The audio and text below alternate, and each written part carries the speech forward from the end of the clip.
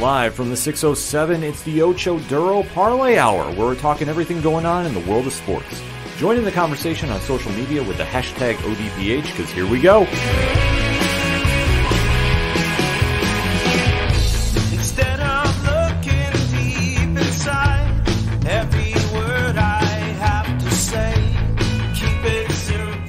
Welcome to part two of a special edition of the ODPH podcast, better known as the Ocho Duro Parlay Hour. What's happening, everybody? Thank you so much for joining us this week. My name is Ken M. Joining me in studio, as always, you know him. He's the co-host. His name is Padawan J. Still a nicer room than the AEW press conference room. Yes, exactly. No chairs have been thrown as of yet. But fear not, we have a lot of time to go. So who knows what's going to happen? Because we have a special guest host in the building as well. You know him as the host of the 3FN podcast. You know him as the host of 607 TWS, the wrestling show, and a few other things going on because he's one of the busiest people in all of podcasting. But he took enough time to come here to talk some NFL football with us. You know him, Rich from 3FN. What's up, ODPH Society? And I'd also like to add in I am now distancing myself from my relationship with Ace Steel. It's a little rocky right now. I can't be responsible for any rabies shots that are being handed out. I'm just throwing it out there. He, he's- Full transparency, folks. Exactly, because he's one of the few podcasters out here calling it right down the middle. But you know this if you're following 607 TWS, as you should be. And how you get there simply, you swing on over to odphpodcast.com. You check out what's going on in the directory. The link is right there, along with the ODPH. Friends of the show under the classified section, the parlay point section, TeePublic, Patreon. You know it if it's anything and everything that is the ODPH. It can be found at odphpodcast.com. But we're here to talk some NFL football in this edition. Last mm-hmm. podcast, we talked all about the AFC. Now it's time to shift the direction to the National Football Conference and give you our breakdown of the East, the South, the North, the West, and who's going to the Super Bowl. Wait a minute. There's another conference in football? Surprisingly, yes. I thought we were done already. Well, we I thought we were going to talk more wrestling right now. What's Well- going on? Well, I mean, we we have to give, I guess, some due because I mean, there's some Dallas Cowboy fans that listen to the show. I don't know. Shout out Dre. Uh, but we're definitely got to talk about a little bit of the le- the NFC least, as we like to call it, because the NFC East is one of the most um, unique divisions in all of football. So we're gonna give you our takes on that. So Pat, so we're starting with the worst division in football? Listen, we got to get the shit out of the way. exactly. Okay. All right, all right. I know the NFC East fans out there, all those Giants, Eagles, and Cowboy fans. exist? And I don't think there's any uh, "We Are Commanders" bum bum bum bum bum bum bum fans out there. But if there is, I I don't apologize to any of you. Like better teams, Listen, all I'm saying to this division is I hate half of you. like better teams. Exactly. This will probably be a shorter uh, edition of the podcast, but hey, that works out after you hear the fantastic work done on the AFC. But we have to do give some attention to the NFC least. So, Pad, why don't you kick us off? Yeah, so looking at the NFC East division standings from last year, you had the Dallas Cowboys win the division with a record of 12 and 5. Philadelphia Eagles finish in second place with, with a record of 9 and 8.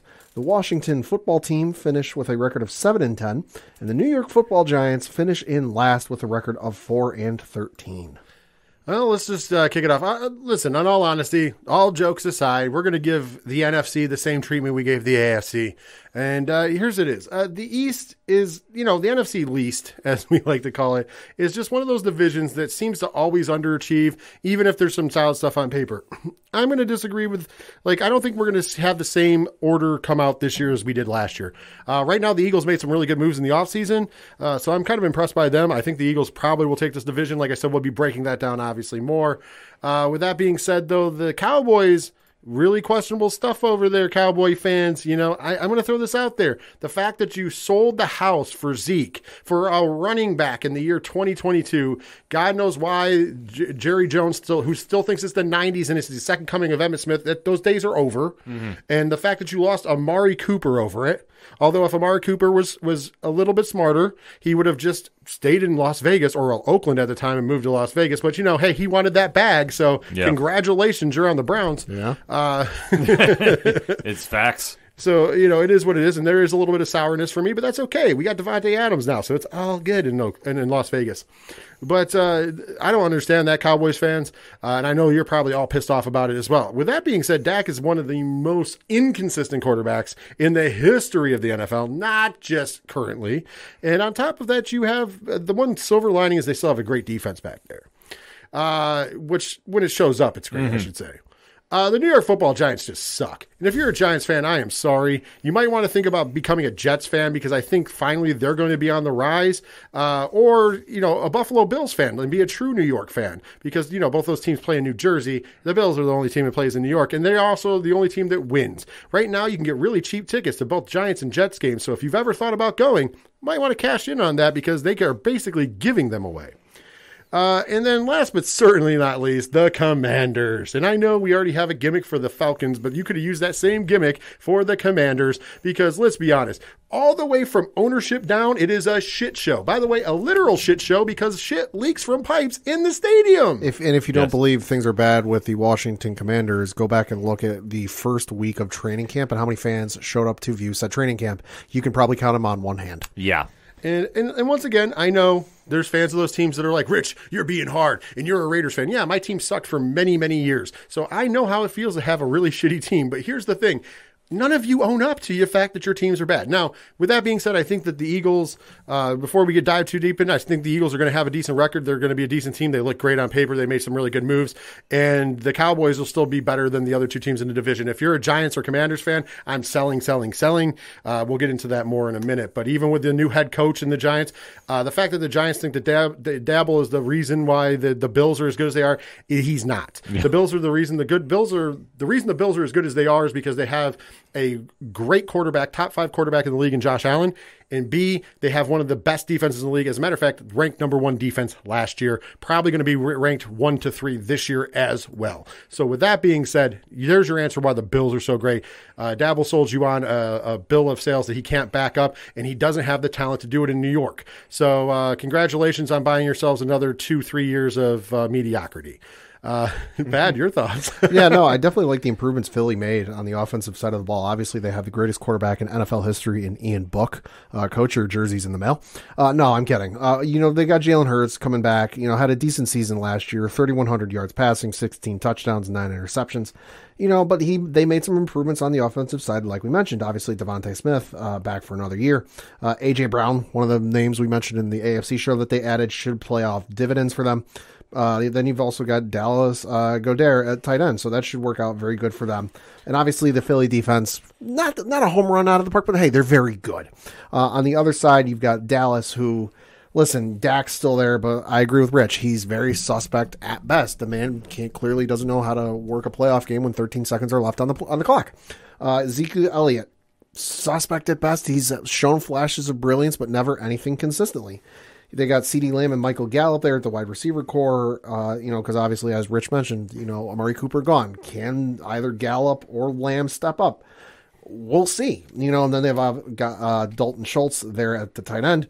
Uh, added Demarcus Lawrence uh, on the defensive side of the ball. You know, so defense. You know, we'll see. Micah Parsons is still there. Trevon Diggs is still there in, in the backfield of the defense.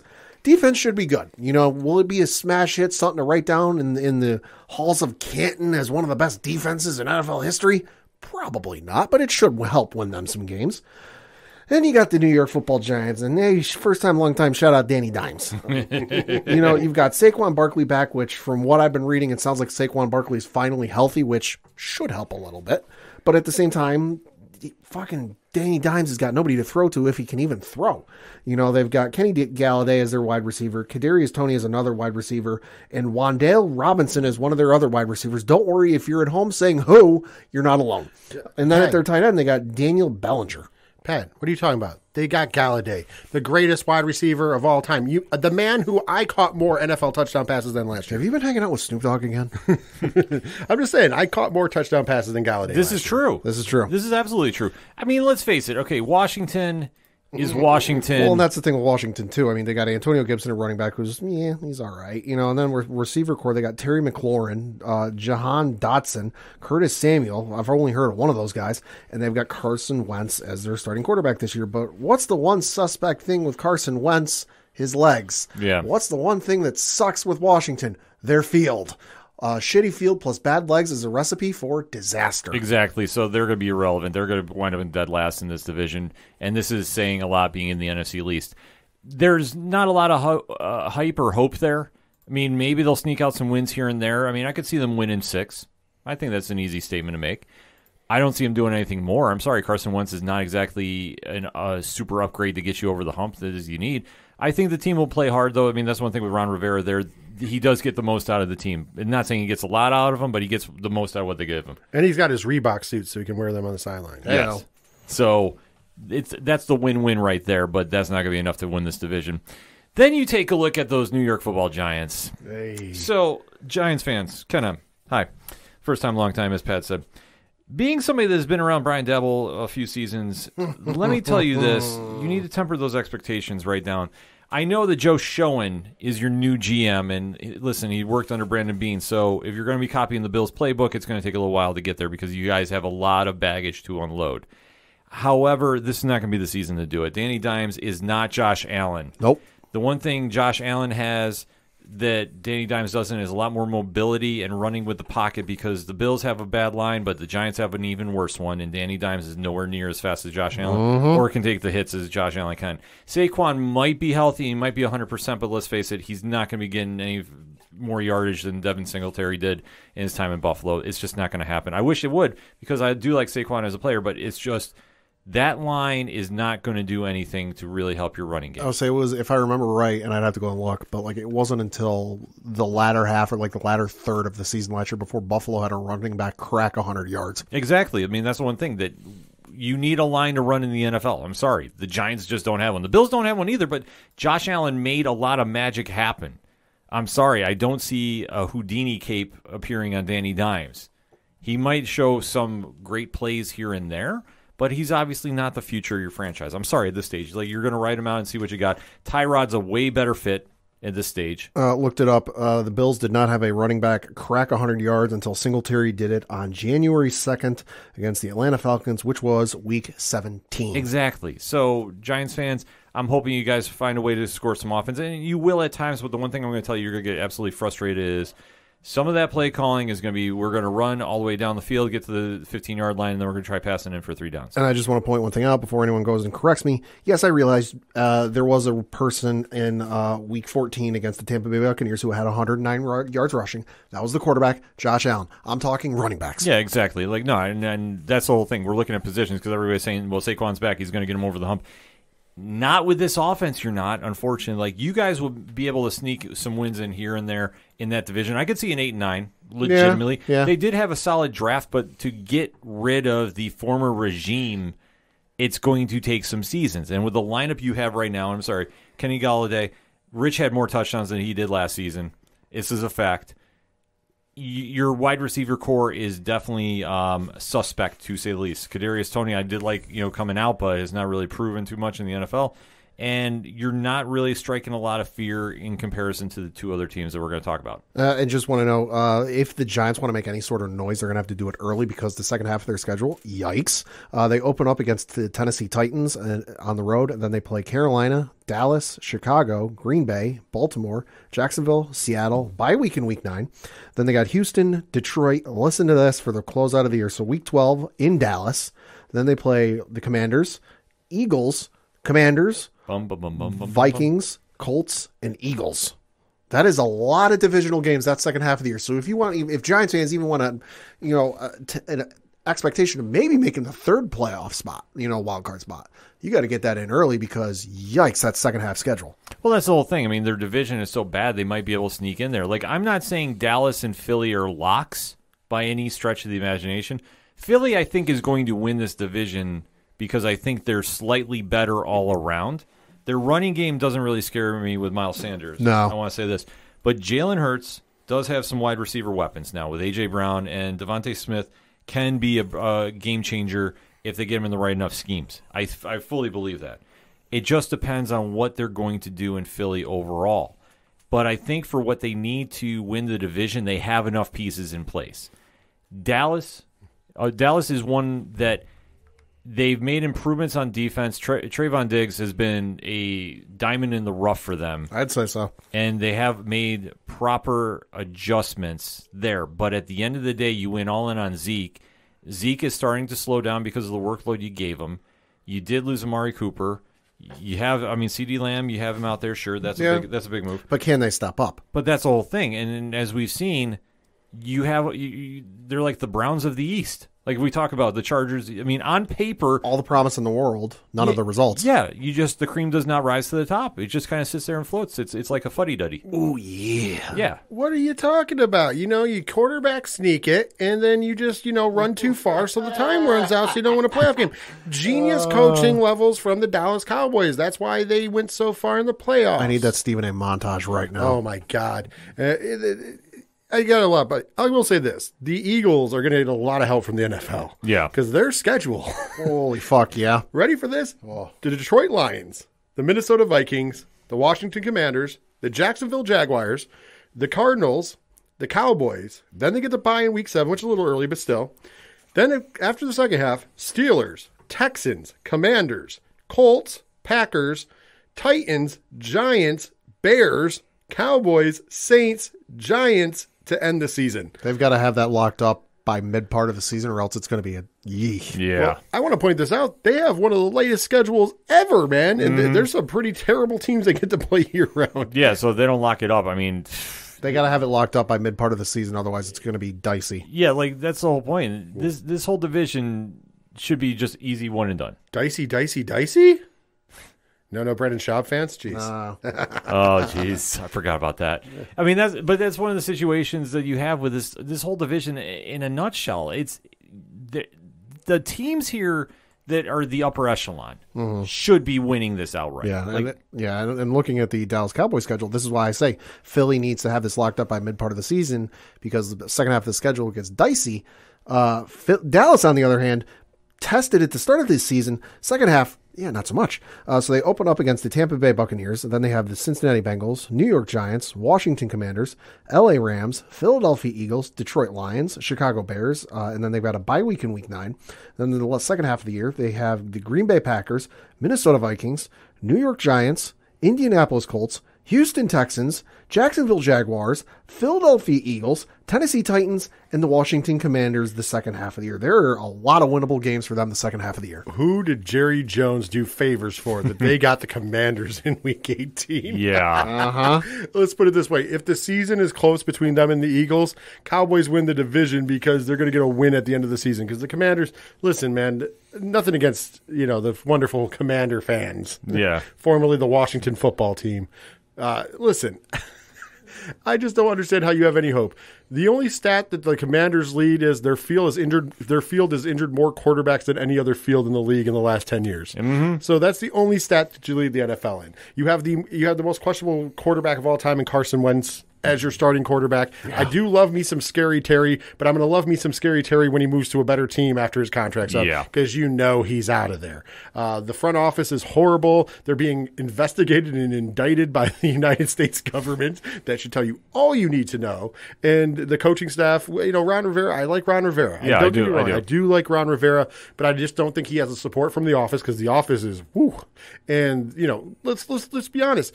They care so little about their team. They literally play in a field where shit is leaking from the pipes onto fans. Facts. They literally play for a team where their fans almost f- killed Jalen Hurts last season when they fell out of the stands. That should never happen. Honestly, I forgot about that. Yeah, that should never happen anywhere. Fans should be mm-hmm. safe no matter where they are. I've never been to a stadium where if you leaned up against something, you might die. Yeah. But I guess that's how it works in Washington.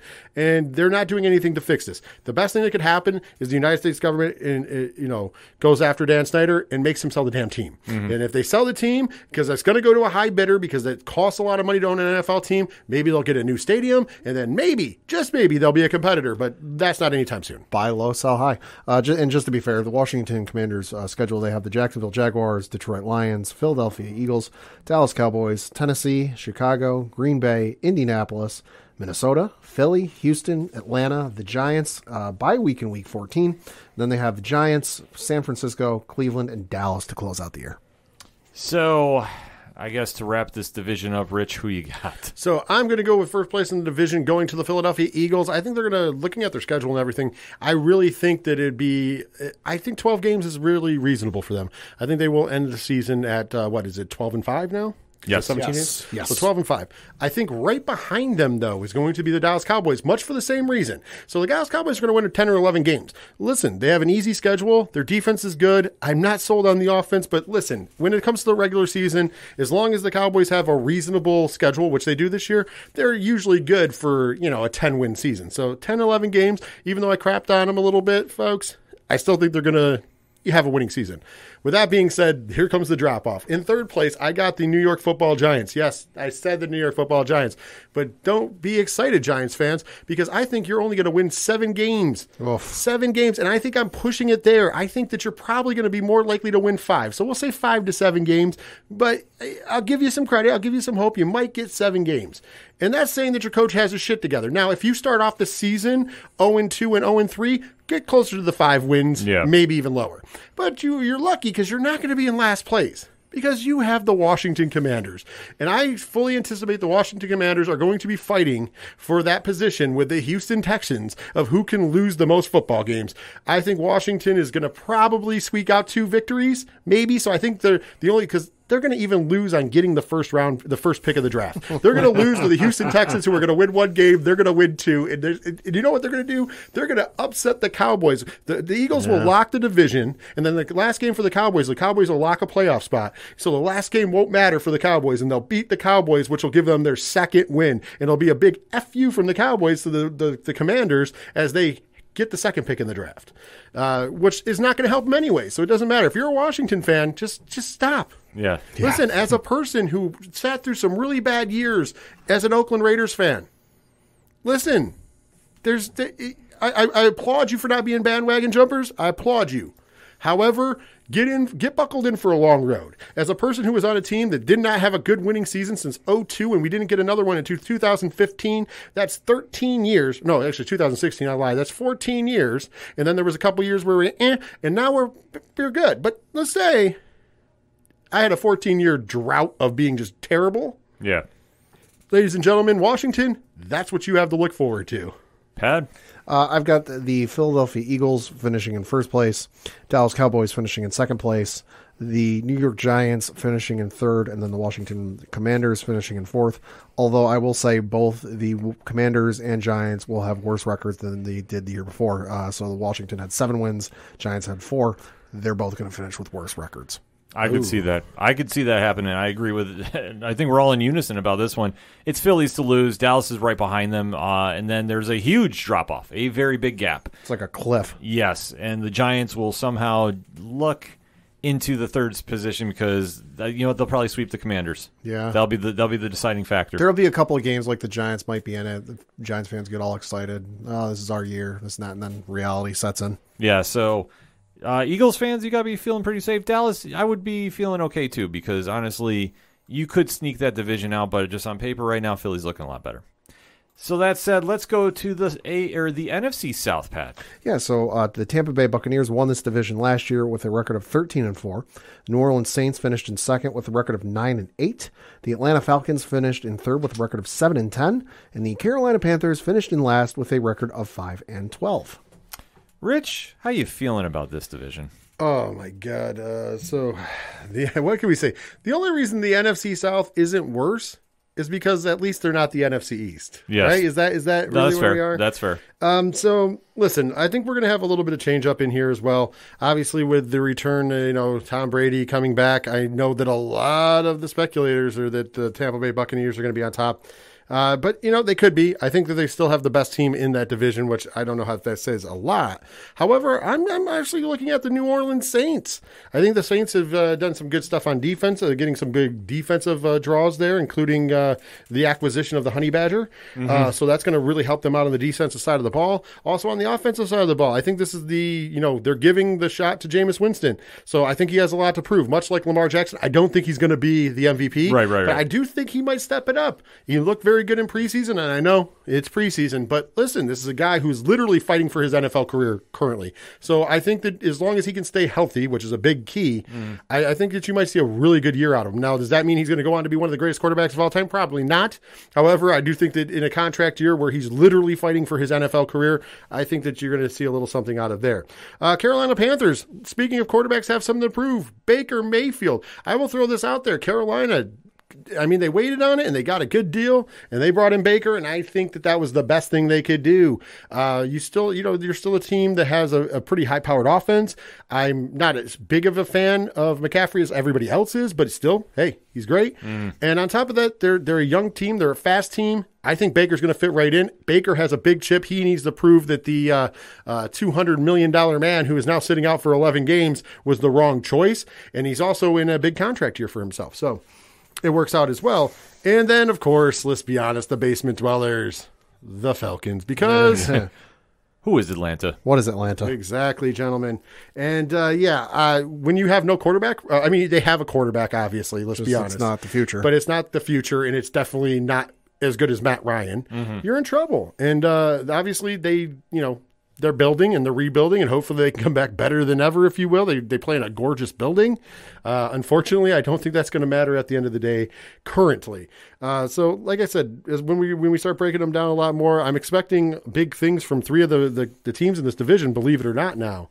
And I don't think it's as easy as people thinking that, oh, Tom Brady is still the GOAT, so therefore he's going to just have the Buccaneers walk into the playoffs. I think it's going to be a harder ride because I think the Saints and the Panthers have a lot to prove this year for different reasons. I, I don't think I agree with Rich. I don't think the Buccaneers have as an easy route as they've had the last couple of years to get in the playoffs. I think they'll still be very good. Obviously, you do have Tom Brady coming back after he retired for all of 45 days, pissed off his wife allegedly.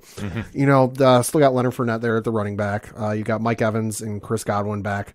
Uh, added Julio Jones, which we'll see what he can do. Is he the Julio Jones of old? Probably not. Is he going to get you some good yards and maybe a couple scores when you're in the red zone? You know, short yardage situation. Eh, probably. You know, and then they've got uh, Cameron Brate stepping in for a retired, as of right now, Rob Gronkowski. Would not be surprised in any way, shape, or form if we hit the second half of the year and Rob Gronkowski decides to unretire and jump on the bandwagon. But the one question and the one thing I do have a little bit of issue with the Tampa Bay Buccaneers is the offensive line.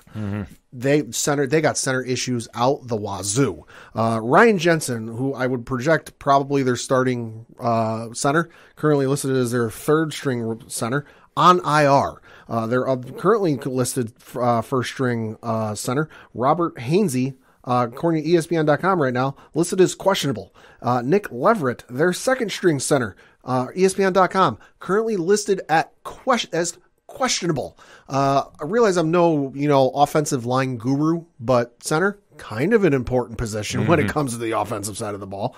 Uh, and then you get on the defensive side of the ball. I'm looking at that defense. I'm looking at the names. That does not strike me as kind of fearsome as it has in years past. Then you get to the New Orleans Saints, who, like Rich said, they're giving Jameis Winston the ball. Hey, you know, this ain't Drew Brees. Sean Payton is gone. Let's see what you can do, kid. You know, you got Alvin Kamara, who's a great running back there. You got also got Mark Ingram, who's a great back, a great secondary running back there. You got Michael Thomas, who is coming back after an injury uh, plague season last year. He only played in seven games, so you're going to have hopefully have Michael Thomas back for a full season. Added Jarvis Landry, you know, so I think you know the Saints are going to do a lot of good stuff on the defensive side of the ball, and like Rich said, adding Tyrann Mathieu, Honey Badger is going to make a lot of damn difference, and he's going to be extra motivated playing in his home state of Louisiana. Uh, playing at home makes a lot of difference. You get the Atlanta, you get to the Atlanta Falcons, which listen, they're ripping that thing down to the studs, and at this point, the only stud on left on that house is Kyle Pitts. I feel bad for this kid because there is not a lot to work with, and he's going to be the focus of a lot of targets when he runs into cover. He runs into coverage to try and catch a ball. Uh, you know, listen, Marcus Mariota, nothing against you. You're a journeyman quarterback. You are going just there to fill the hole until they can find who they're going to draft. Cordarrelle Patterson, their starting running back. Listen, he's a great uh, special teams guy, great return guy. Not all that great in running back. And then you get to their wide receivers, Drake London, who you know, uh, Olamide uh, Zaccheaus, and then Bryan Edwards, who you know, and then on defense, there's really nothing. So, like Rich said, they're rebuilding, they're stripping that shit down to the studs. Carolina, you've made some improvements. Let's be honest. I mean, you went from the, the Cam Newton experiment and the Sam Darnold experiment, you know, and, and PJ Walker's there, but you brought in Baker Mayfield. And Baker Mayfield, probably the biggest chip on a shoulder we've seen in quite some Quite time. some time. Quite some time. You know, from all the turmoil with with uh, Cleveland and everything going on, and then Deshaun Watson getting brought in and all this, he's got a lot to prove, and I think he's going to want to go out there and do it. Christian McCaffrey, on paper, good running back. Had him in fantasy, not so much. You know, will he be able to perform? We'll see. You know, he's got some targets to throw to. D.J. Moore, Robbie Anderson. Uh, you got also got Terrace Marshall Jr. and then uh, Tommy Tremble as his starting tight end. I, I think where I see the division going is I think it's honestly Tampa Bay might still win it. I haven't made a decision yet on who I think is going to win the division. I could see Tampa Bay winning it, but it's going to be a lot closer than it was last year, where they won you know 13 games and then the second place team won nine. It's going to be a lot closer. Uh, I think Atlanta's going to fall off from their seven wins, and I think Carolina's going to improve from their five. All right, so let's get the worst one out of the way. Atlanta is going to be fighting with Houston for that number one pick. There is absolutely nothing worth talking about except Kyle Pitts. I'm sorry that you're entering the league right now and going there because, man, this is going to be a tough road for you uh, in a very young football career. Drake London was their first round draft pick this year, and I know that I think he's already been having some injury issues. So it's not a good sign for everything going on in, Atlanta. And like you touched upon, Mariota is a, a journeyman quarterback. I think his best days are behind him. I think he's an adequate fill in, or like how the Raiders were using him for the Wildcat. I think that that's how you use him at this stage. I don't see him being a solidified number one, and I think there's just so many problems right now with that team on both sides of the ball. Listen, uh, they're going to be lucky if they hit three wins. I'm sorry, like I'm going to put it out there. I see them really contending with Houston for that number one pick. Like they'll have a top five pick again this year, so not a lot to write home about with that. As far as Tampa Bay goes, we have to remember something. The game that they faced the LA Rams in for the playoffs, Yes. Tom Brady did not look like Tom Brady in that one. Nope. Kind of looked like he was struggling a little bit A little bit. a little bit with the ball. And that's why I think he kind of got that retirement talk into him. I think this year you're going to see that drop off. Could be. I really do. And I'm not saying this obviously with my me being a Bills fan and, and not liking Brady for the majority of his career. The Majority, all of it. Well, let's be honest, I tried spinning it nicely, but yeah. Who's your daddy? Yeah, exactly. He he finally went to Tampa Bay and that's why we're winning, so thank you. He did as all, all old men do. Went to Florida. Yeah, exactly. But this is a situation where I don't think he is 100%, but I think he wanted to go out on a better note. And I just think, unfortunately, this is going to be like the Peyton Manning farewell tour. Like, could they sneak into the playoffs? Yeah. It's going to be rough, though. they could, but it's going to be a very tough task, especially with if he's not the Tom Brady of recent years. I don't want to say of old because let's face it, those days are gone. and and there's really no room for error in this because looking at their schedule, they open up in Dallas week one, then they play the Saints, Green Bay, Kansas City, Atlanta, Pittsburgh, Carolina, Baltimore, the Rams, Seattle. Then they've got a bye week in week eleven.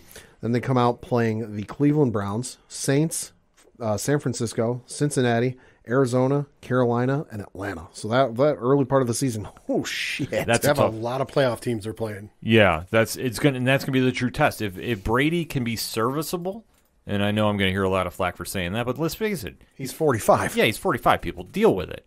He's not the Tom Brady of old. He's going to be serviceable. He can get you to the playoffs. But if he starts having drop offs like he had in that game, and that's the one that really stuck out, he's lucky that that was not worse than it should have been. But nevertheless, if he's not 100%, this team ain't going anywhere. So I could see them winding up in third place in this this year. It just it depends on how he comes out the gate. But I think the fact that he retired, he didn't and like I say, we don't know where we're going to get out of him. Sure, could he turn the switch on? Yeah. Yeah. But he has a very rough stretch ahead starting out the gate. That's going to be the tempo. Like after week after week 4, I'll have a better feeling about what they're going to be. So I'm going to pencil them in right now at 3. Two, I'm going to give to the Carolina Panthers because I think that Baker is on a very, very uh, angry warpath right now. I think that he's very ticked off at what has happened in Cleveland to run him out. So I think that he is just going to be like literally wanting to shove it up everybody's you know where on and saying you guys were wrong to let me go in Cleveland. Like I think he's he's just going to be raging out of control down in, Cle- in Carolina. The best part is he doesn't even have to wait to do that. He gets to do it in week one. Yeah, One against the Browns. I think week one he's going to do it. The only thing that's going to be kind of interesting, I did not realize who Carolina's offensive coordinator is. Ben McAdoo. really? Yes, former head coach of the New York Giants, one of Coach Duffy's personal favorites. So depends on how he meshes in. The only thing that I had a little bit of question too, but we'll find out week one, is I know that there was a little controversy with some of the wide receivers not exactly happy Baker was coming into Carolina. Sure. But listen, he's an upgrade from Sam Darnold, so you don't tell me anything otherwise. Yeah. Like that's the one thing with him. So I think that he might sneak out to an early like they'll get some early wins. Yeah, they got a, they got a pretty decent schedule. I mean, I'm looking at it like we mentioned. They opening up against the Cleveland Browns week one. Then they've got the New York Giants, uh, New Orleans Saints, Arizona Cardinals, San Francisco, the Los Angeles Rams, Tampa Bay, Atlanta, Cincinnati, Atlanta, Baltimore, Denver. Bye week in week 13, uh, and then they finish out the year against Seattle, Pittsburgh, Detroit, Tampa Bay, and New Orleans. So there's some winnable games in there. Yeah, there definitely are. So I could see them sneaking into that number two position. I don't think they're going to beat the Saints, though. I think the Saints are going to be very good on both sides of the ball, enough to win this division outright. I think Jameis Winston is going to have a better season than most people are thinking. And like Rich touched on and you touched on too, Pat, the fact that you know Tyrann Mathieu back in uh, you know New Orleans. New Orleans, he's this is going to be something I think he's really going to go very very hard to get them over the hump and get them into the playoffs. I think that he's going to be that veteran leader that they need down there and really establish an identity for that team. I mean, the only thing I see is a there's a they have a tough schedule, uh, but you know they open up the season against Atlanta, then they play the Tampa Bay Buccaneers, then they play Carolina, so all three division games, boom, boom, boom. Then they play the Vikings, but unfortunately they play the Vikings in London, England. Hey, So that will be coming from uh, Tottenham Hotspur Stadium in, Tottenham. in in in in London. Tottenham, yeah. So then uh, they come back to play the Seattle Seahawks, thankfully at home. Uh, then the Bengals, Cardinals, Raiders, Ravens, Steelers, Rams, Niners, Buccaneers. They get a bye finally in week 14 before finishing the season against the Falcons, the Browns, the Eagles, and the Panthers. So they have a really tough first half of this season, and that's going to be the one thing that's going to hurt them. I mean, they're they're a murderer's row of teams that we've already mentioned that it could be playoff teams like the Raiders and the Ravens. It, we haven't talked about the Rams yet, but obviously we're anticipating them probably being a playoff team. The Niners are have a high hopes. We'll talk about them later as well, and of course the Buccaneers. And you know, obviously Atlanta's an easy one, but still, I mean, they have a they have a tough schedule. But once again, can't take away the kid's heart. Exactly. So that being said, to wrap up the NFC South, taking New Orleans, Carolina right behind them. I'm going to say Tampa Bay. I'm penciling in a three right now, and then obviously Atlanta. Good luck if you win three. Uh, I'm going to take the New, uh, New New Orleans Saints at the number one position. Uh, you know, but not 13 wins. I think it's going to be maybe around nine or 10. Yeah. Uh, I think Tampa. I think we will see the fall off from Brady. I mean, listen, you don't get better with age. Unlike you know the uh, unlike the saying, you know, things get better with age. Not the case in football. You know, things do not get better with age. You fall off when it comes with age. And being a New England Patriots fan and watching Tom Brady play for the better part of 20 some odd years.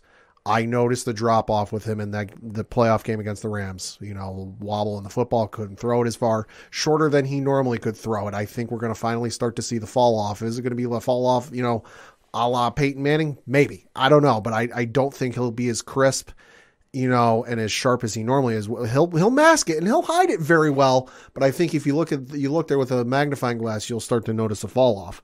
Uh, I think, and then in third we'll have the Carolina Panthers, and then in last, and I'm looking at the Atlanta Falcons schedule. I'm Falcons fans. I apologize. I'm giving you one win Wow. because looking at their schedule: New Orleans, the Rams, Seattle, Cleveland, Tampa Bay, San Francisco, Cincinnati, Carolina, the Chargers, Carolina again, the Chicago, Washington, Pittsburgh, bye week in week 14, and then they've got New Orleans, Baltimore, Arizona, and Tampa Bay. I think that one win Ouch. might be Washington. That could be. Very well. Uh, so I got the NFC South lining up like this. Honestly, I, I think uh, you guys are all correct. I think it's going to be way tighter. I think the the winner of this division is going to win like ten games. With that being said, let- let's let's make it interesting. We're all going to pick something different. I think that Baker Mayfield has enough hate in his heart Wow. that he is going to will like he did years ago with Cleveland, will them to the playoffs. He's going to will the Carolina Panthers to the playoffs, knowing that the Browns aren't going to make the playoffs. Now, I'm not saying they're going to make it far. I'm not going to say it's going to be pretty. I'm just going to say that that man has hate in his heart. And what better way to stick it to Cleveland than when they're sitting home and he gets to play one playoff game before going home? Yeah. Uh, so I think the, the, the Carolina Panthers are going to win the division. I think in second place is going to be the New Orleans Saints. Uh, I think they're going to have either the same record or very. They're either going to be at ten and both to be at ten and seven and some weird uh, shenanigans of uh, rec, uh, you know tiebreaker, or it's going to be a ten and seven and a nine and eight. Uh, still both with winning records. I think honestly the Buccaneers are going to be outside looking in, and I I they might get nine and eight. They might get eight and nine. It's going to be right in that area. I do think, and once again, I've been a huge Tom Brady fan my my my entire his entire career. Uh, obviously, I'm older. Well, I'm not older than he is, but you know, I've I've been watching football longer than his career. But I've been a fan of his, uh, even though when people hated on him and everything else, I do think he's the greatest quarterback of all time. Unfortunately, at 45, we saw some of the cracks in that foundation last year. Not saying that he didn't almost make that comeback on the Rams. That was more on the Rams than it was on Tom Brady, Right. honestly, because they played they played the second half of that game like they were uh, uh, already going to win the game, and he almost made the epic comeback. Uh, but with that being said, I think that they're there. And I'm, I'm- anybody who doesn't think that, I think that you're lying to yourself at some point in juncture. At 45, listen, if I eat my words and he comes out and has an MVP type season and they win 14 games, awesome, great, good on him. Yeah. And that better be his last season if they make a fucking Super Bowl run and they have 13 or 14 wins. I just don't think it's going to happen this time. And I'm with Pat. I'm the Falcons, man. One or two games, tops, tops. You're looking at a top fucking three pick. You're fighting for a first round pick, man, which is good for them because they need a good quarterback. So, hey, you know, uh, you know, and silver lining. I don't know if they have the infrastructure together to make something happen with that. However, you know, hey, rebuild. We've said for years they need to strip that thing down to the bones. Oh, absolutely. They're They finally have. they're finally there. Yeah, they're finally there, and that's what they need to do to wrap things up. Interesting football in the NFC, to say the least, pun intended. So that said, we're going to take our first break. Hit us up on the hashtag, hashtag ODPHpod. What is your thoughts about the NFC least? What is your thoughts about the NFC South? Let's have that conversation, shall we? We're going to take a quick break. We'll be right back. Have you ever found yourself confused about the current state of the MCU or whatever the hell is happening with the DC universe? Do you often have no idea what the hell the difference is between craft beer and that Bud Ice stuff at the gas station? Well, then look no further. We present to you Hops Geek News. We're yet another geek and beer podcast in an already oversaturated market. All right, all right. We drink and we pretend we know things. More often than not, we don't really know things, but we do talk some really great topics, and we most definitely can drink. We'll deliver you news and then dive into any random topic you might have never knew you actually were passionate about. With lots of fun facts about beer. And from Marvel to DC and Star Wars, and to why Die Hard is most definitely a Christmas movie. which it is. Basically, anything that our spouses are sick of hearing us talk about. Join us on YouTube or anywhere you listen to podcasts. New episodes weekly. Just search Hops News. Coming back for the second half of this NFC preview edition of the ODPH podcast for the NFL season, coming on with Rich from the 3FN podcast in the house for it. Last segment, we talked about the NFC least, we talked about the NFC South. Now let's talk about the NFC North. Shall we, Pat? Yeah, so looking at the division standings from last year, the Green Bay Packers won the division with a record of 13 and 4. Second place was the Minnesota Vikings with a record of 8 and 9. Chicago Bears finished third with a record of 6 and 11, and the Detroit Lions finished in last with a record of 3 and 13. All right, I'm up first. Well, I don't think that things are going to stay the same, although they might. But I, I, I'm going to get some heat early. Let's get some heat, shall we? Okay. The Green Bay Packer fans, and I know we have some listening. Oh, we do. Oh shit. And uh, listen, guys, let's not fool ourselves here. You lost Davante Adams. Yes. Like you, you, you kept you kept Aaron. The the sacrifice you made for Aaron Rodgers was losing Davante Adams. That's how it works. Now, that's fine. You say uh, Allen Lazard is there, Sammy Watkins is there, Randall Cobb is there. Ain't not a one of them. And no matter how you want to fool yourself, Davante Adams and Aaron Rodgers. Yeah, great quarterback. But if he spent more time not chatting with Joe Rogan about tripping on ayahuasca and more time throwing footballs during the preseason, he looked terrible. Yeah. And yes, it's preseason football, but he's the guy who says that I don't throw a football in the offseason. Hey, you put some respect on the Buffalo Bills legend Sammy Watkins. Yeah. Uh, the, the thing is, Aaron Aaron Rodgers will get him the ball, but he ain't going to catch it. Yeah. Let's let's be honest. There's a reason why he's no longer in Buffalo and no longer in Kansas City. Hmm. Mm, am I wrong? No. No. So No. don't don't don't paint the picture that Sammy Watkins is going to step in and, and take Davante Adams' spot. And I hear a lot of Packer fans out there. And listen, I understand you have the two-time reigning MVP, and I think Aaron Rodgers is great. As you heard earlier, if you were listening to the FC thing, I said that he is the, the, still the top quarterback in the league until proven otherwise. But once now, once again, now we're at the point where he doesn't have any weapons, and this is an interesting point in his career because that has never happened before. Mm-hmm. This is the least amount of people he has ever had since he has been the quarterback for the Green Bay Packers. Now, with that being said, uh, it uh, you know, maybe gets better at running backs. Aaron Jones and A.J. Dillon. Nope, doesn't get better. Sorry, guys. Uh, tight ends, we got uh, Marcedes Lewis and uh, Robert Tonyan. Nope, doesn't get any better, guys. Listen, this is going to be a this is going to if he can pull off the greatest heist i will say that he deserves to be up there with tom brady in the number two spot now i don't think he's going to overtake brady but if he somehow pulls it but let's be honest even if he pulls off a great season even if they how many wins did they have last year pad 13. even if he has 13 wins even if they go to the playoffs we know they're just going to lose to some team that's not as good as them or whatever San Francisco. Yeah, they're gonna lose Frisco. if if Frisco's there. But even if Frisco Frisco, even if, kryptonite. even if Frisco's not there, they're going to lose to the Rams, or they're going to lose to Tampa Bay, or they're going to lose to whoever. That might be the team that Baker Mayfield could actually beat. Why? Because let's face it, Green Bay Packer fans. With the exception of the fact that you can win a first round playoff game, you are the Dallas Cowboys of the North. You are a team that underachieves. You are a team that the quarterback can win all the fucking MVPs he wants, but at the end of the day, he doesn't have the Super Bowl rings for it. He's got one, right? He's got one. He's got one. He, has got one. He lost one, correct? Or did he not lose? No, he only, he's uh, I think he's only, Only played one one and won once. Okay. Yeah, yeah. yes, So he right, does have a ring. He Beat, one he beat uh, Pittsburgh the Yep. one one he was in. He does have a ring. So that means that Ben Roethlisberger has more rings than he does. That means Eli Manning has more rings than he does. Guys, it gets a slippery fucking slope at this point in juncture. He has as many rings as Trent Dilfer. Ooh, not wrong, So- not wrong. So, so once again, you can be the greatest quarterback in the regular season, but he ain't Tom Brady. Jimmy Garoppolo has more rings than uh, Aaron Rodgers. Ooh, that's rough. But listen, Not wrong. I know, not I wrong. know, I know. A lot of the Packers fans are like, "How dare you?" That's okay. How dare I? I'm just tired of hearing the bandwagon jumping Packer fans. And if you've been a diehard Packer fan, I feel for you. It's not your fault that you don't have the bandwagon jumpers, but man, they are the loudest group of people that always get cheated when they lose. You guys are the New York Yankees of fucking the NFL. Let's just face it, and that's why a lot of people don't like you. I'm going to throw it out there because I have never seen a, a, a- fan base that complains more about cheating when losing than the Green Bay Packers. So that is where my anger is coming from. No, you lost. You can't beat the San Francisco 49ers, and they're not that great. They have Jimmy Garoppolo as their starting quarterback. Well, maybe not now, but Not they now. did. They did. And, and he didn't even throw an offensive touchdown, and you still lost. you still lost. How did the San Francisco 49ers beat your team without throwing, as, actually, without scoring a single offensive touchdown? There was no offensive touchdowns because the, the Niners didn't score an offensive touchdown the entire playoffs. Right. Fact. That's true. It's right? facts. It's facts. Oh yeah, you're and they came into Green Bay where it's cold as shit, and they're from San Francisco. Now, mind you, San Francisco's got the same weather as us in New York, so this season it does get cold there, but not Green Bay cold. Yeah, not Green Bay cold. That's a whole different animal. So I'm sorry, Green Bay Packer fans. It is interesting. You probably are going to win this division. I know I went off on a tirade here. You're probably going to win this division because let's be honest, the NFC North is trash.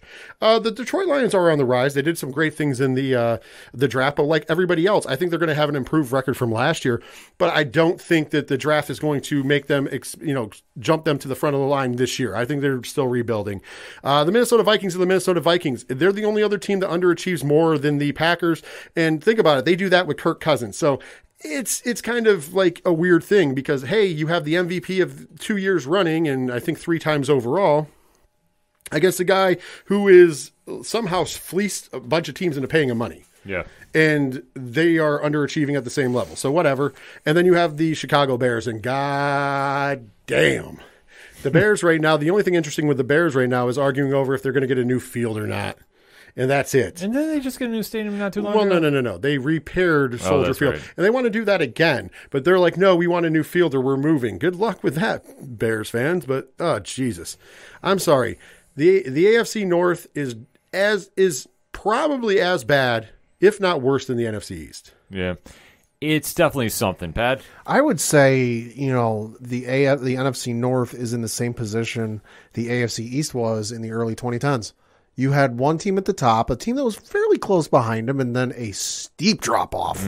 You know, I think Green Bay's this is still their division to lose because yes, they did lose Davante Adams, uh, but they still have Aaron Rodgers, who let's face it, that man is lethal from the other side of the fifty yard line with time left. You know, he is not showing any drop off. He still shows he's still got any, like we said, he's a two time reigning uh, NFL MVP. I think he makes up for a lot of holes in that offense. And listen, I think he can make a lot of chicken salad with a lot of chicken shit. You know, are any of those wide receivers that we mentioned, Allen Lazard, Sammy Watkins, Randall Cobbs, on the same level as Davante Adams? No, but can Aaron Rodgers bring them close to that level because of his play and his ability? Yes. So I think this is clearly the Green Bay Packers division to lose. I think then you got to go to Minnesota Vikings, which let's face it, great running back, Dalvin Cook, great receiving core, Justin Jefferson, Adam Thielen, fantastic, you know, offensive weapons.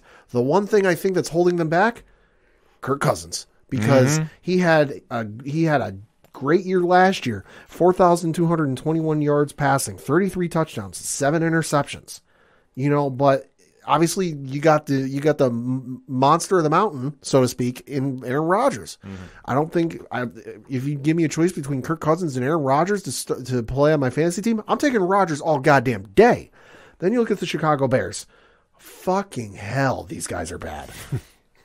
Justin, Justin Fields, uh, 1,870 yards passing last year, 31st in the league, seven touchdowns, 31st in the league, 10 interceptions, tied for ninth in the league. Now, granted, he only played in 12 games, but still, not showing a lot of faith out of this guy. You got David Montgomery as their running back, and then tell me if you'd pick any of these guys for your fantasy football team. Hell, I'll even say a backup. You got a guy injured and you need a quick pick me up for a week before your one of your other starters comes back in.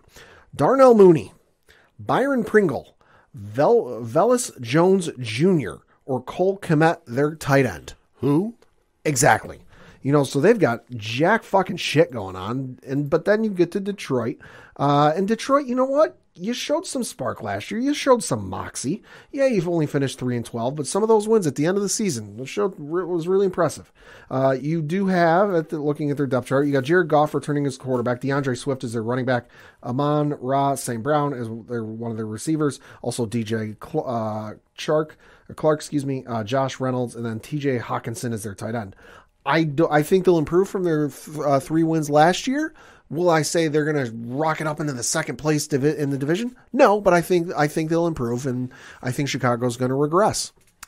So I'm going to say last place is going to be Chicago outright. I think there's just a lot of problems there. Justin Fields has got a lot to do with Cole Kmet. Was he not the tight end at Notre Dame? 'Cause Uh, I will look. I want to say his name sounds familiar, so I'm going to say possibly because uh, for some reason I'm connecting him with Coach Duffy for some reason. So that's usually how that. And if he was at Notre Dame, we're going to hear all about this one. yeah. So that, Yes, he was. that's right. Okay, so that's why I clicked in about him. Still, who? Exactly. So Chicago is not there yet. Uh, they got a lot of problems to fix. So I'm going to say they're going to be in that top five draft pick again. Uh, there's just no, there's no bright side to it. I mean, Justin Fields. I mean, he's got nothing to work with, so it's a little disservice to him. So maybe you can find some diamonds in the rough somewhere, but I don't see it happening here. At three, I'm going to take Minnesota. I know everybody's going to kind of go like, "What?" But I think you hit it right on the head, Pat. Kirk Cousins is so inconsistent, and it seems like the only time he ever shows up in games, in my opinion, is when you piss him off. I think that he has been given a very, very lucrative contract, and he hasn't played up to that potential for it. And I think that that's been something that's been hurting this team because I think that on paper they should be the number one team in this division outright. Aaron Rodgers, with or without him, they should be the number one. They're not. And I think that they just keep underproducing. Dalvin Cook is a great running back when he's on the field, but he's had some signs of injury. So if he's not there, who's the one creating some offense there? And I think, unfortunately, with Cousins' lack of consistency, that's going to hurt this team. The Lions, I think, are going to improve enough to get second place. Now, I'm not going to say they're, we're talking playoffs unless they could sneak in for that last spot. But I think what Dan Campbell has done with this team is really kind of give him some new energy. They did have a very, very smart draft. They grabbed Aidan Hutchinson on defense, which I think is going to help him tremendously. And then even looking at their offense, we have to remember too, before he got hurt, D'Andre Swift was on a tear Yeah, he was. at the beginning of the season. I know that they drafted Jameis Williamson or Williams out of uh, number 12 overall last year too. So that said, so they do got some sparks on that offensive side of the ball. Jared Goff, I don't think the bar is set that high for him because I mean he's had that kind of fall from grace leaving LA to go to Detroit. But I think he might have a small chip on his shoulder too because the, the Lions are con- just considered so much of an afterthought. Nobody's paying attention to them. Their record did not reflect their their games because they, They were- weren't. they were close. They're a lot closer than people think. It just depends on like uh, you know a pass here, a, a run here. Well, because if I remember correctly, too, they would have beaten Baltimore last year were it not for uh, Justin Tucker breaking the NFL record for the longest field goal. Yeah, I mean that's it is kind of Like that, literally, they would they would have been four wins were enough for Justin fucking Tucker. Right, but that's kind of like the example with them. So I think they could sneak into a nine and eight if they play their cards right. Yeah, I mean, I'm looking at their schedule. Uh, they've got the Philadelphia Eagles to open the season. Then they've got Washington, Minnesota, Seattle, New England. by week in week six. Then they've got Dallas, Miami, Green Bay, Chicago, the Giants, Buffalo, Jacksonville, Minnesota, the Jets, Carolina, Chicago, and Green Bay to close the year. So that after you get that past that bye week, there's a lot of winnable games in there. There's a, there's a favorable schedule for Detroit. I mean, I think that they're on, definitely on the build, and I, I could agree with you with the the possibly even sneaking into a nine eight, eight nine record. Mm-hmm. I, I think that they've done the right things as far as the front office and coaching staff, and now into players and selecting the right players. So, and with that schedule, whew, it's going to make it a lot easier. Yeah, that's the one thing they got to just have a little bit of luck on their side for once. Now, I like I say, I'm not going to call the shot that they're going to get there. I could see them getting that seventh playoff position if uh, if the stars all align. I think there's enough talent that they have if they can just stay healthy and, and just really make a you know a strong foot forward, they could put it together. I still think they're going to be behind Green Bay by default. But the one question I had too is like when Aaron Rodgers is talking about all these uh, things he's doing on the offseason, mm-hmm. did the NFL like not go test him? Well, technically speaking, they're not against the law, Yeah. rules Okay. Of the Yeah, it, it doesn't break, it doesn't break any of the rules. Ayahuasca is a. Uh, by the way, that's that's how you pronounce it. Is ayahuasca? Thank you. It's not on the list. That is that is that is a natural root thing that and he did it in the proper way, so they want to be able to go after that.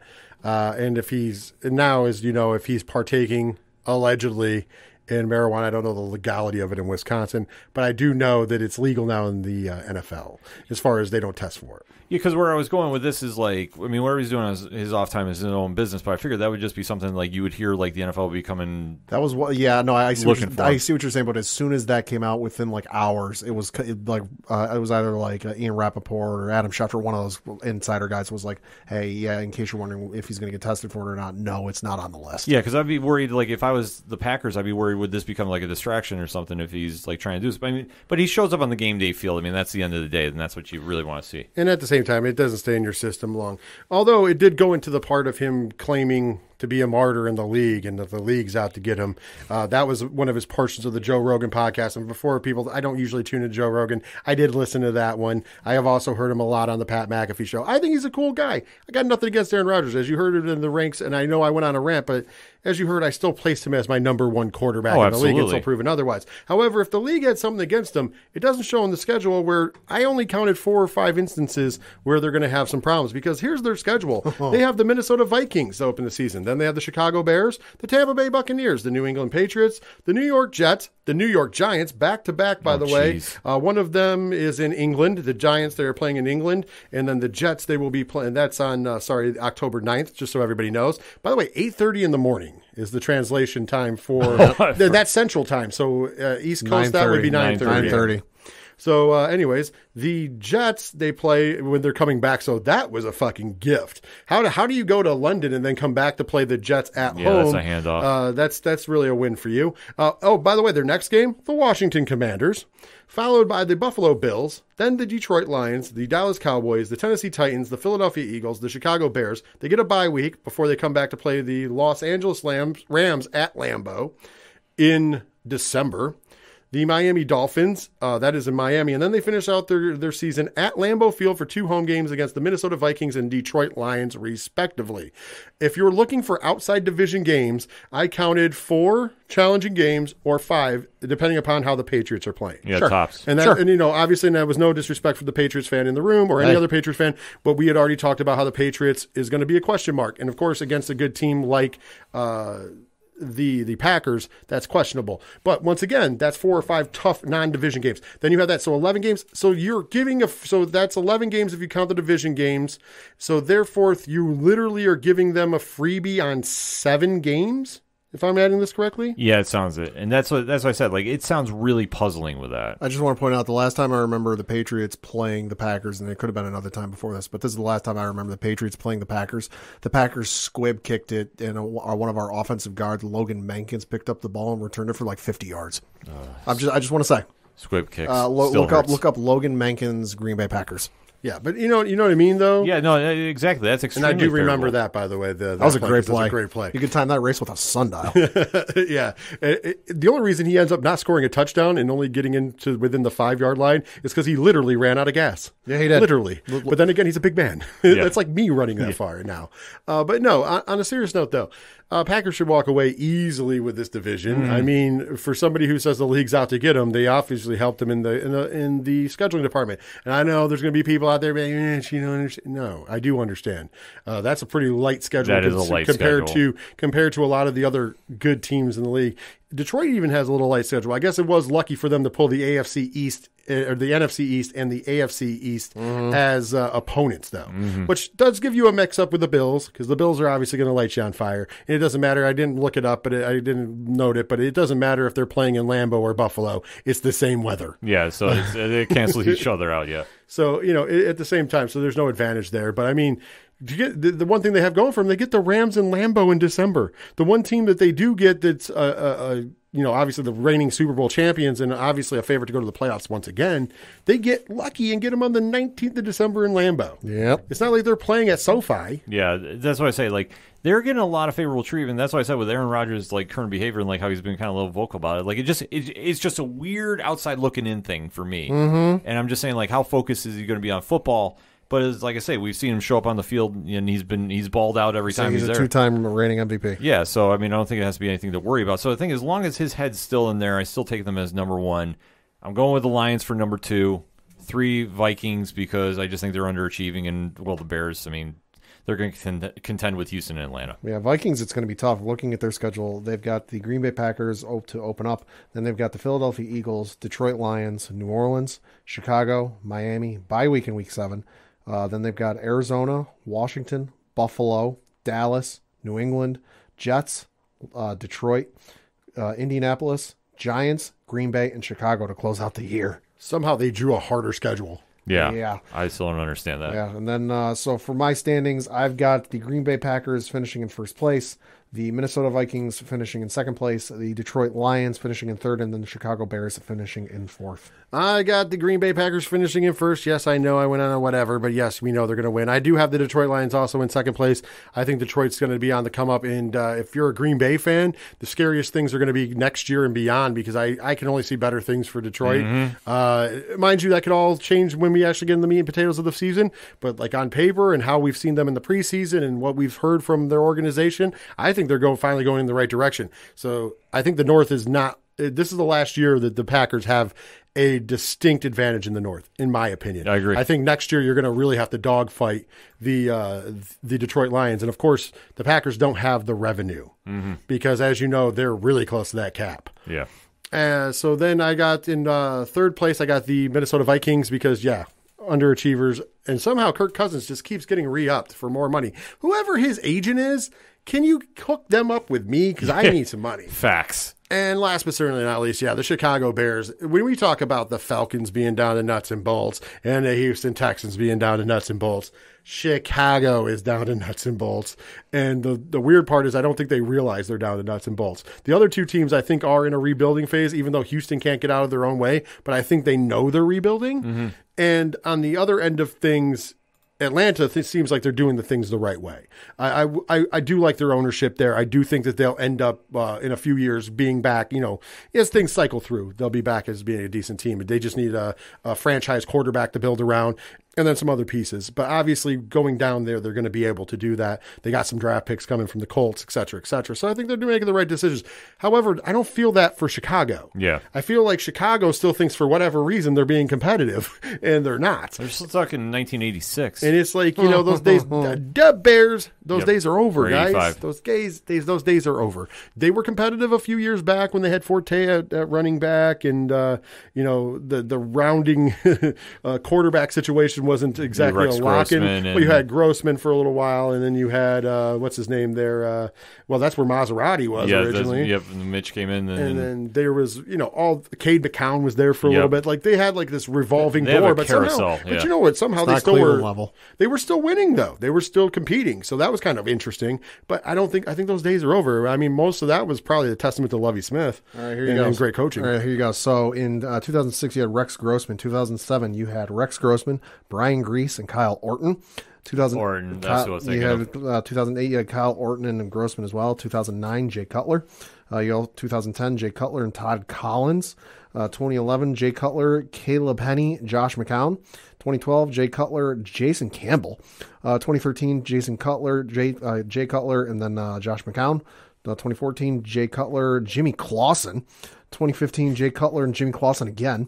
2016, Matt Barkley, Jay Cutler, Brian Hoyer. Holy fuck. Uh, 2017, Maserati Mitch and Mike Glennon. Uh, 2018, uh, Mitchell Trubisky, excuse me, uh, Mitchell Trubisky and Mike Glennon. Uh, then you had 2018, tw- Mitchell Trubisky and Chase Daniel. 2019, Mitchell Trubisky and Chase Daniel again. Uh, 2020, Mitchell Trubisky and Nick Foles. And then last year you had Justin Fields, Andy Dalton, and Nick Foles. yeah, I mean it's a carousel to say the least.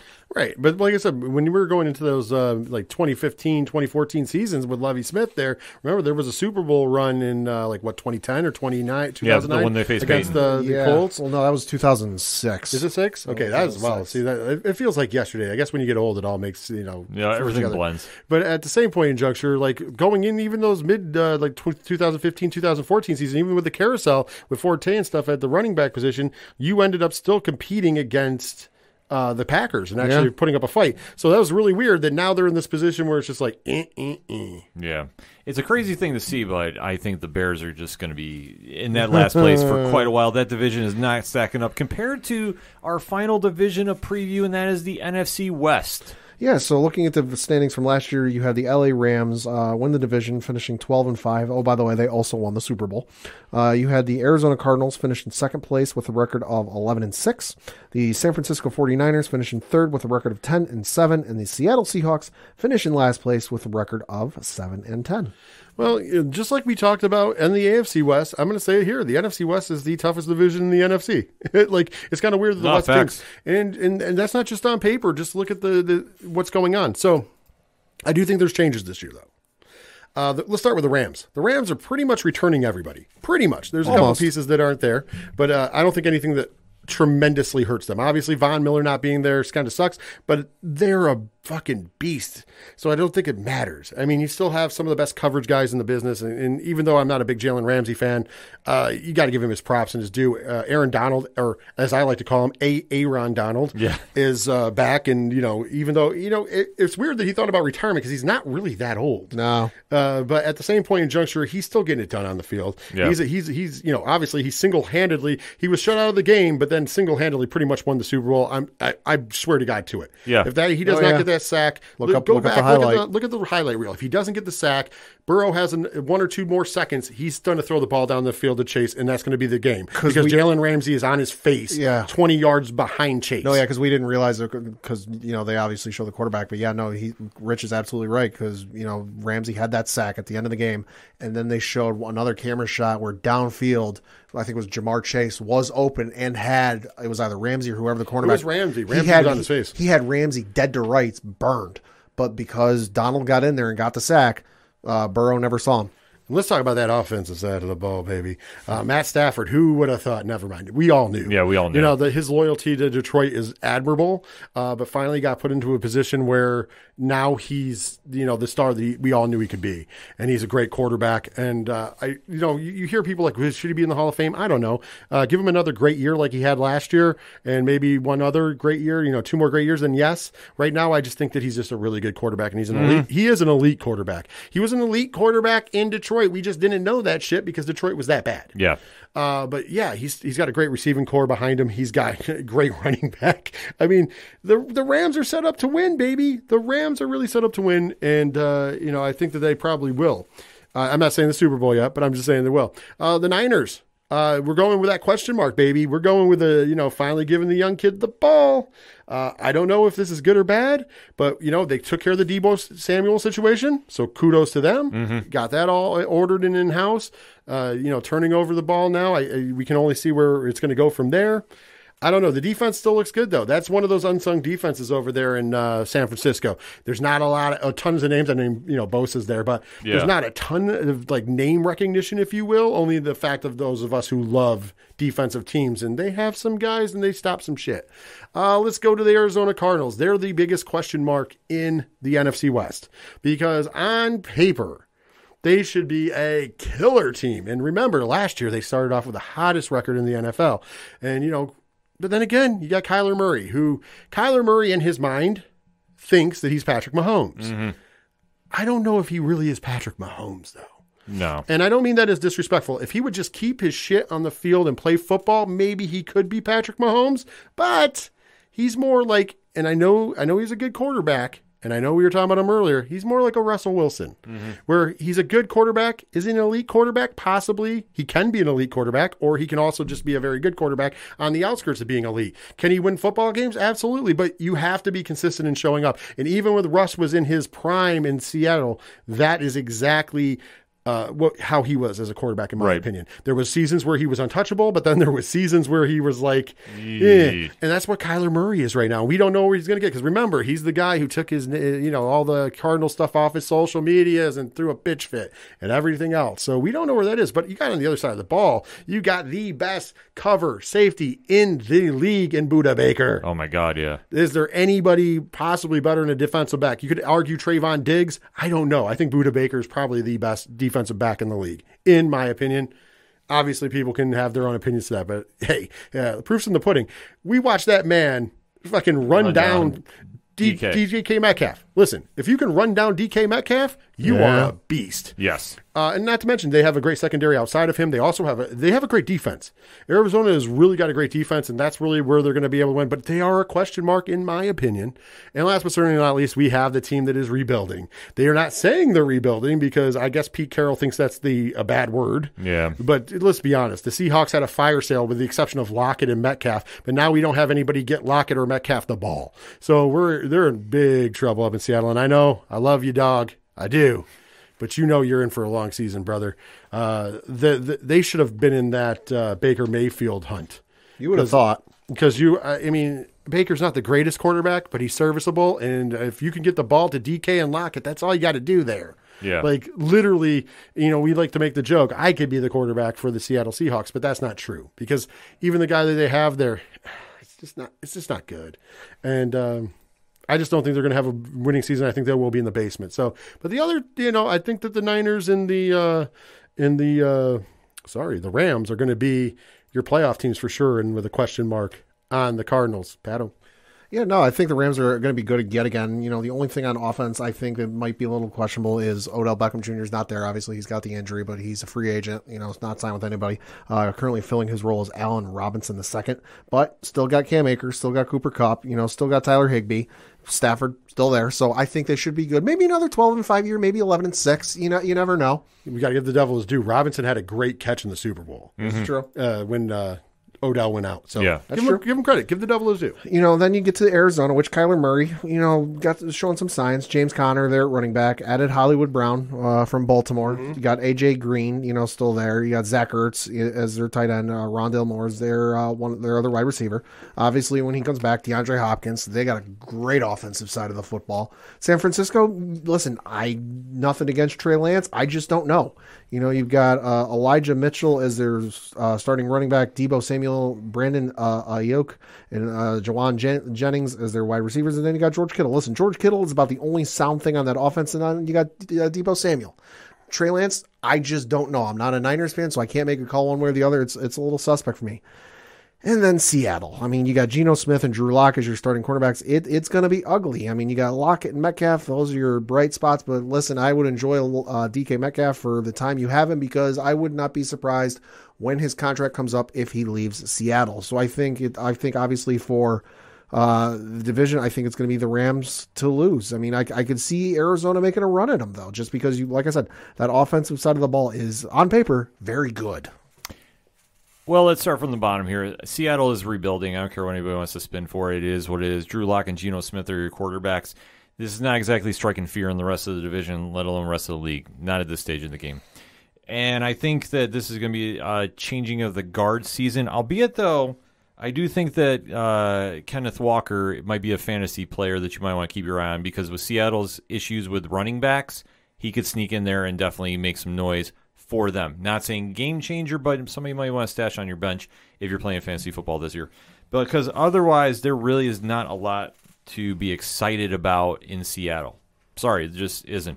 I think if they win six games, I'll call it a miracle at this stage, just because the team is rebuilding so badly that sure you can throw it to Metcalf all day, but he's going to get double teamed. So who else is going to step up and make some points? That's your argument you have. Then you have to take a look at Arizona. And I know kind of ranking them this low might seem like a little crazy, but they are much like Miami, in my opinion. Yeah.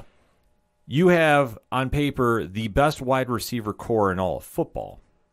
Albeit, though, you don't have Christian Kirk, the, you know, uh, 80, 90 million dollar man, but that's a, that's a whole other story. But with Kyler Murray and Kingsbury's offense, you have to see is there going to be any growth? Because I think Kingsbury relies too much on the college style instead of the NFL style, Mm, maybe. and that wins in some cases, and that lear- and that loses in some cases. And I think that that's something that we don't have a consistent product on the field all the time. Murray makes up for a lot with his running ability, and that does help. But as we've seen in this offseason, when you're having the drama and the new uh, cool thing, I guess, is to take all your social media uh, accounts, you know, any links from your team down and, and kind of like showing that you're mad. I think that kind of immaturity is is something that is going to rub players the wrong way. So I would imagine that by the time now, since the deal is already worked out, Murray's going to be there. They're going to be able to get this done and get this going forward. It just depends on how that translates on the field because if he's not ready to go because he was too much worried about his offseason stuff, then that, that's going to be a problem. And I think that that could be a major distraction moving forward. Not having DeAndre Hopkins there for six games is also a big one, too. I want to point out they have a tough schedule in Arizona as well. They open the season against the Kansas City Chiefs. Uh, that is at home, at least. But then they go on the road the following week to take on the Las Vegas Raiders. The following week, they play the Los Angeles Rams. Ooh. The week after that, they get Carolina at uh, Carolina. Then they play the Philadelphia Eagles at home, the Seattle Seahawks on the road, the Saints at home, the Vikings on the road. It seems like they're going back and forth all, all, all season. Seattle at home. Then they play the Rams for the second time. That one will be at SoFi in week 10 before playing the Niners, the Chargers, then getting a bye week, then playing the Patriots, the Broncos, the Buccaneers, the Falcons, and they end the season at Levi Stadium against the Niners. So they have a tough schedule. So if uh, they're going to come out to prove something, they got to come out to prove it instantly. Yeah, I don't think that they have any kind of room for error right now. Like they really need to set a tempo, especially with the two other teams in this division. I think San Francisco is going to steal that second spot. And the one thing about them is they're almost like Indianapolis. They have a great defense. But can you honestly name anybody on that defense? No. No. Exactly. Well, Bosa. Well, Bosa, that's that's probably the only one. But they play solid. They play very, very traditional style. Like they don't, they'll bend, but they don't break, and that does help. The offensive side of the ball, though, that's kind of the biggest X factor that you have with this team. Trey Lance is going to get the ball. You know, Jimmy G is there just pretty much as insurance, but really for, For how, now. for how long? I mean, that's kind of another X factor there. The running game suspect and then obviously you have Deebo as your your your number one wide receiver, but there's only sometimes you can run him, you know, in the screenplay out back, and you know, like do the ends around where he's that's where he excels at. Like Yeah. he's he's more of a running back than he is a wide receiver per se. Yeah. But if you can shut him down, then you put the the offense in the hands of Kittle, which is not bad, but you really limit what you can do. So that's going to be a tough thing moving. Yeah, and uh, looking at the 49ers schedule, they open up against Chicago, then they have Seattle, Denver, the Rams, Carolina, Atlanta, Kansas City, the Rams again, bye week in week 9. Then they go to the Charger, they play the Chargers, Cardinals, Saints, Miami, Tampa Bay, Seattle, Washington, Vegas, and Arizona to close out the year. Yeah. So I mean, that's not an easy one for them. And I think that with it all comes down to Trey Lance's play. I think that if he can play good, not great, they'll be okay. If he can play great, that's even bonus win. They could make a run for that division. They in- could. in all honesty. Mm-hmm. But if he struggles out the gate, they're going to be in pro- They're going to have problems because Jimmy G, I think, is checked out completely. He's just there getting a paycheck till he finds a place to go. So that being said, the Rams are going to win this one by default. But the only question I had is Stafford, I guess, was having arm issues. Uh, yeah, he had he had like some bulge or something on both. He had like golf arm and baseball arm or something. I forget It what was, it was. it was On some both- kind of crazy It thing. was on both sides of the arm. Yeah, so that's on his throwing arm. So he has not done that much in this offseason. Now, I'm not saying that this is going to be something that is a that's a season breaker by any means, but if they start out rusty out the gate, because obviously you have that Super Bowl hangover, you're not fully all in. That could be a problem, especially f- for them in this division. It's not to say they can't make up ground because they're so solid on both sides of the ball. They could, but obviously they open with the Bills, and then after that, it's not getting any easier. Well, after that, you got the Falcons in week two.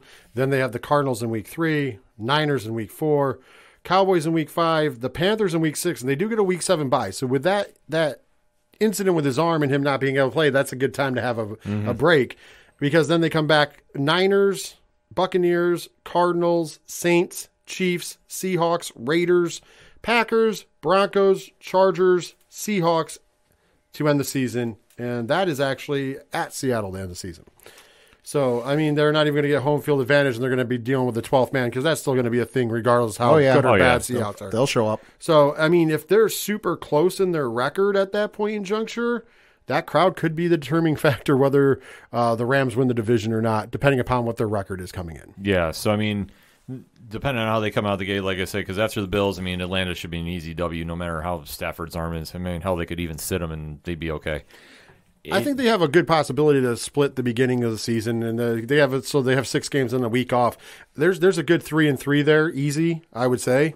Although, uh, you know, they could also go four and or you know four and two or two and 4 Uh, so I, it's going to depend on that. I think if they're closer to that three and three, four and two, getting that break, and Stafford's still looking good and getting you know more in there, I think after the break they'll be okay. Yeah, I do too. So, I mean, to wrap it up for this one, I think obviously Seattle is dead last. Uh, not as bad as Atlanta, but definitely something to keep an eye on because rebuilding is going to be a term that you're going to hear a lot with this team moving forward. Third place, I'm going to give to Arizona right now just because we got to see a little what Kyler Murray's got. Because if he doesn't have it all put together, this is going to be a problem, especially for how stacked this division is for the upper top two teams. It all comes down to the 49ers at number two because they're going to be living and dying off their defense. This will remind me a lot of that Ravens defense that beat the Giants in the Super Bowl way back when, but just a lot less talented. They're going to be very solid on that side of the ball, but that offense is going to be a big suspect. So if they can put some points together, they'll be okay. But in all fairness, this should be the Rams to win. And uh, I'll say they'll, they'll take this division like an 11 5 range. I think they can definitely swing that, or 11 to 6. I got to remember that extra game. It keeps throwing me off. But it's it's one of those situations where I think that they could sneak this out and win outright with that. Pat? Uh, yeah, I got in last place the Seattle Seahawks. Uh, listen, it's not going to be pretty. Uh, then I've got the San Francisco 49ers uh, finishing in third, the LA Rams in second place, and then I got the Arizona Cardinals in first place. Listen, I think that's through no fault of the LA Rams. I think they're going to be good. Just that the whole thing with, uh, you know, Matthew Stafford's arm, not quite sure how it's going to play out. I think it could affect him. And I just like the weapons uh, Arizona's got on the offensive side of the ball. I think it'll be able to win some games for them. Uh, in last place, I think we're a clean sweep in last place with the Seahawks, and I'll take this a step further because I like to have Dog at least be happy a little bit. I say that you lock down Lockett and Metcalf, and then you say let's you pull the the Miami job, and you just say let's throw some fucking games this year, so you can go out and get a quarterback, franchise quarterback, and rebuild properly, and then you have the weapons for it. I love it. I'm just saying. I mean, I, I know I know it's against the rules, but I mean it's been done before. Uh, in third place, I'm going to actually have the uh, San Francisco 49ers. Uh, I that defense is great, but at some point in junction, you got to score some offensive touchdowns, and that's what they struggled with last year, and they struggled with it in the playoffs, and somehow still made it to the uh, conference championship game. So kudos to them.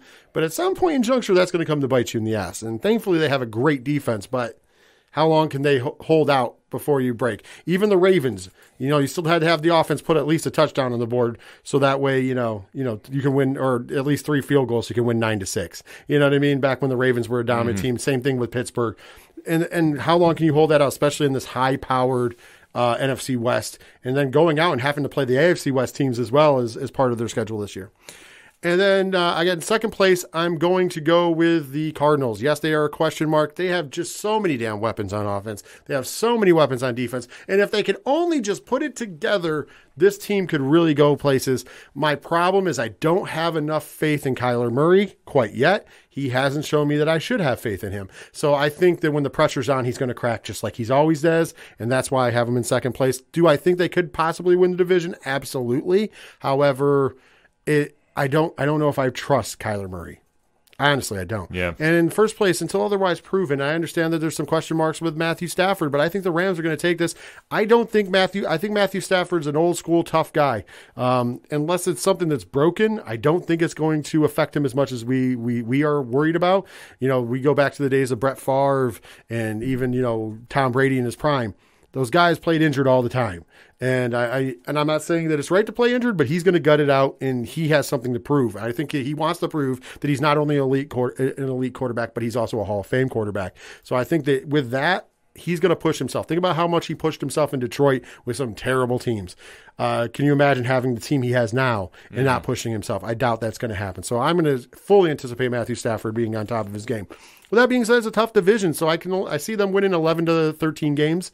Uh, if they get real like in the groove, I could see them winning 13 even with a tough schedule because hey, they're a hell of a team. But I think they're probably going to be more around that 11 range if you really want to know. And I think that uh, Arizona will probably win 10 games, maybe 11 and then I will go with the the Niners being at least nine and eight, maybe even ten and seven. So I think all three teams are going to finish above the uh, the the Mason Dixon line of uh, the NFL, if you will, and then. Uh, the Seahawks, not so much. Uh, I, I'm, I'm going to say that they probably will be better than a couple of the other teams we've mentioned. So unfortunately, I don't see them getting the number one pick. I don't even see them getting a top five pick, but they're going to be a top 10 pick, probably closer to six or seven. Yeah, I could definitely see that. So I can see them winning three or four games, which is going to punish them a little bit just because, yeah, if they could have just dropped some more games, they could be in line to get a first uh, top five pick. But we've got so many terrible teams, as we pointed out, with Chicago and Houston and Atlanta. and Atlanta. And it, it, it, I don't think they're as bad as those teams, but I still don't think they're good in they're rebuilding. No, I definitely agree with you about that. It's going to be a long season for them. It's going to be an interesting one to watch, though, regardless. So, that being said, we're going to take our final break. In the meantime, hit us up on the hashtag, hashtag ODPH pod. Give us your thoughts about the NFC North and the NFC West. Who you got winning those divisions? We're going to take that final break, and we'll be right back. You ever wondered what comics Mark from Vale is into? What Zach from Left Behind's favorite MCU movies are? Well, Metalcore Nerds is the show for you. My name is Sean Mott, and here at Metalcore Nerds, we cover the latest things in pop culture, whether it be Star Wars, Marvel, DC, AEW, and everything else in between. You can listen to the show every Monday on Adobe Howl at 7 p.m. Eastern, or find it anywhere you find podcasts after it debuts on the radio station. Coming back for the final segment on this edition of the NFL preview for the ODPH podcast with Rich from 3FN in the house. We gave you our picks of the entire NFC conference. Last podcast, we gave you the picks of the entire AFC conference. So now it's time to talk playoffs and time to talk who is going to the Super Bowl and win the whole thing, starting with Rich. Playoffs? Talk about the playoffs. Got to win a game. Anyways, uh, so let's go with NFC. We're going to start in the NFC East. I have the Philadelphia Eagles winning the NFC East. Uh, then we're going to go to the NFC North, where I have the Green Bay Packers winning the NFC North. NFC South, I already said it earlier in my shocking pick. Carolina Panthers are my favorite to win that. And then in the NFC West, I'm going with the defending Super Bowl champions, the Los Angeles Rams. Uh, the three wild card picks. I have the Arizona Cardinals, the San Francisco 49ers, and last, but certainly not least, and I think they're going to squeeze in with the thinnest of margins. And this is my leap pick, by the way, my heart pick. The Detroit Lions. The Detroit Lions with a 9 and 8 record are going to sweep in there somehow and just yeah, take it in there. And once again, it might not happen, but that's my heart pick because you have to have one. Casey from the Nerdy Photographer podcast is marking out right now about this. He's- you know what? Mark out about it because I really think it's going to happen. That's my that's really my heart pick. I am going to be rooting for the Detroit Lions as long as they're not playing the Las Vegas Raiders or the Buffalo Bills.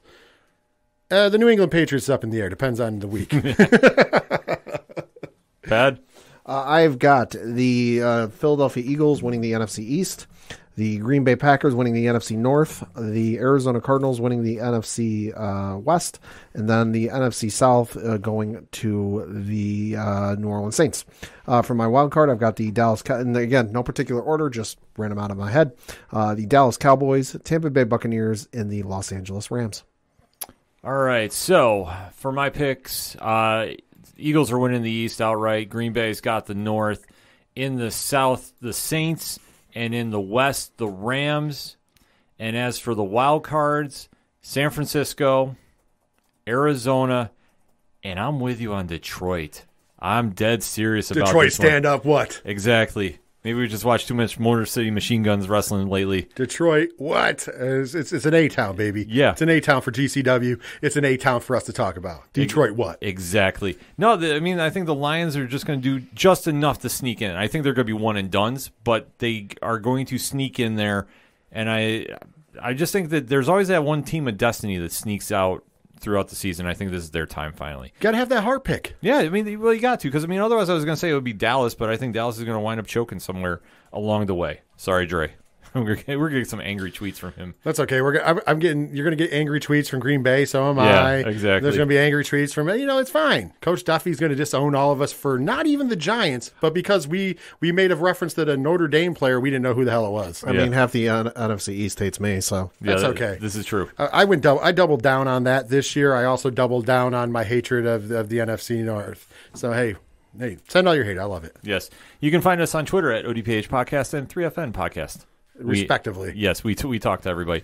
So that said, Rich, who do you have winning the NFC and who you got in the Super Bowl here? Man, this is a tough one. I'm going to be honest with you. Like, it was easy slam dunk for me to pick my AFC pick because it was kind of like the pick that I'm like, okay, last year I picked it. They didn't make it, but they could have, they should have, they just didn't. And I just think that they're such a good team. And once again, there's a lot of teams, uh, which is, should be harder to pick the AFC because there's just a lot of great teams. But the thing is, is that the NFC, there's a more spread out of teams. I, I don't think that the NFC teams, and mind you, the the champions are in the NFC, but I, I just don't think that they're as spread out. It's kind of like the NBA Yeah. when you look at the NBA, you know, you go to certain teams and there's just like, and that's how it is. Like on the west of of the NBA, you have like your lock teams that are like good, and then there's a fall off, and on the east, there's a little more of a battle. And I think that's the way it is in the NFL with the AFC and NFC. The AFC, there's better teams, but there's fewer of them, but they battle. And then in the NFC, anything it's anybody's game. There's some great teams, but it's anybody's game. So with that being said, I'm actually going to pick for the Los Angeles Rams to return to the Super Bowl. I think they're going to go back. I think that Matthew Stafford, like I said before, I think he's really focused on not only guaranteeing himself as being an elite quarterback, but a Hall of Fame quarterback. I think he wants to shut a lot of people up. So I think the Rams are going to return to the Super Bowl. All right. Uh, I I agree with Rich. This is not as easy to pick as the AFC was. Uh, this is a lot tar- harder. I think it's going to be the Green Bay Packers. I think the uh, proverbial monkey is not in that division with the San Francisco 49ers.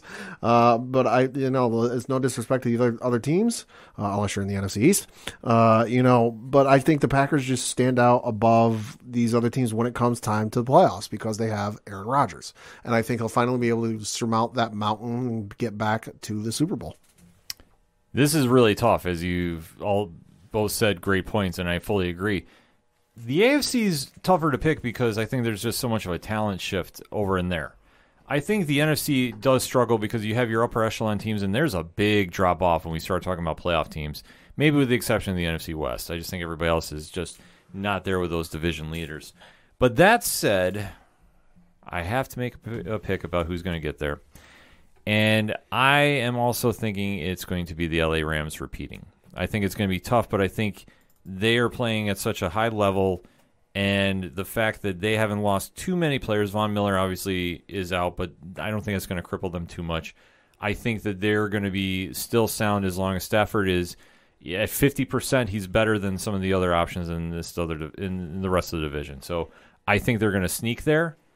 So it's going to be the Rams going back, and if I'm going with my pick of them versus Baltimore, I am going to take the Rams in that situation and go back to back. Taking them back to back. Um, well, much like I picked the, I'm glad you said that about the Rams because much like I picked the Bills to go there, it's because I was like, okay, we have good coaching staff. Uh, Both teams have good coaching staffs. Both teams have good offenses. Both teams have good defenses. So it's a complete team.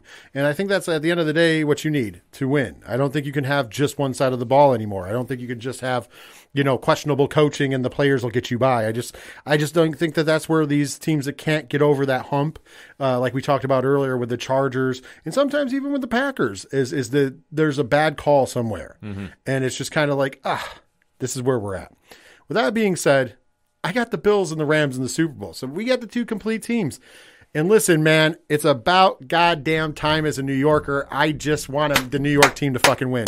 So as we all know, and I've said it on this podcast before, I love football. I watch football every weekend. Me and Ken will be picking back up into that tradition somehow, some way. Yeah. I know with work it's going to be different, but still, we're going to do it. We're going to make sure we get to watch football games. But I, I watch any team, but I tend because of who I watch football with to root for the Bills. Obviously, I'm a Ra- Raiders fan, so I root for the Raiders over everybody. So if the Raiders are playing the Bills, I'm rooting for the Raiders. Uh, my kid's a Steelers fan, so I tend to root for the Steelers. But if the Raiders are playing the Steelers, I root for the Raiders. Right. There's nothing that comes above the Raiders. And, and in a lot of aspects, there's really no NFC team I root for, but I will watch the games, and I just want to see a good game. There's a couple teams that I'd like to root against. Sorry, Dre. I'm, I'm it's it's old school to root against the Cowboys. Like who doesn't want to root against Cowboys? And obviously, because I live in the state of New York, I root against those filthy fucking Giants. It. I don't care who wins as long as it ain't them Giants. Because when they pulled off those upsets against New England, it was the worst times of my life. You heard that here first. You heard it here because then I had to hear shit about it. Still to this day, I have to hear shit about those wins. Give it up. Give it up. Anyways, that being said, I think finally we're going to right the wrongs of the past. The Buffalo Bills are going to be champions, and then we don't have to hear shit from the Giants and Jets fans. Eh, even though the Jets fans, I, I I don't care. You know, I'll root for the Jets too because somebody's got to show them some love. But still, but still, we don't have to hear shit from the Giants fans for a while. So Buffalo is my pick to win the Super Bowl this year over the Los Angeles Rams. Padawan J. Uh, so for my uh, Super Bowl matchup, I've got the Las Vegas Raiders taking on the Green Bay Packers. Christ Almighty, somebody got a quarter.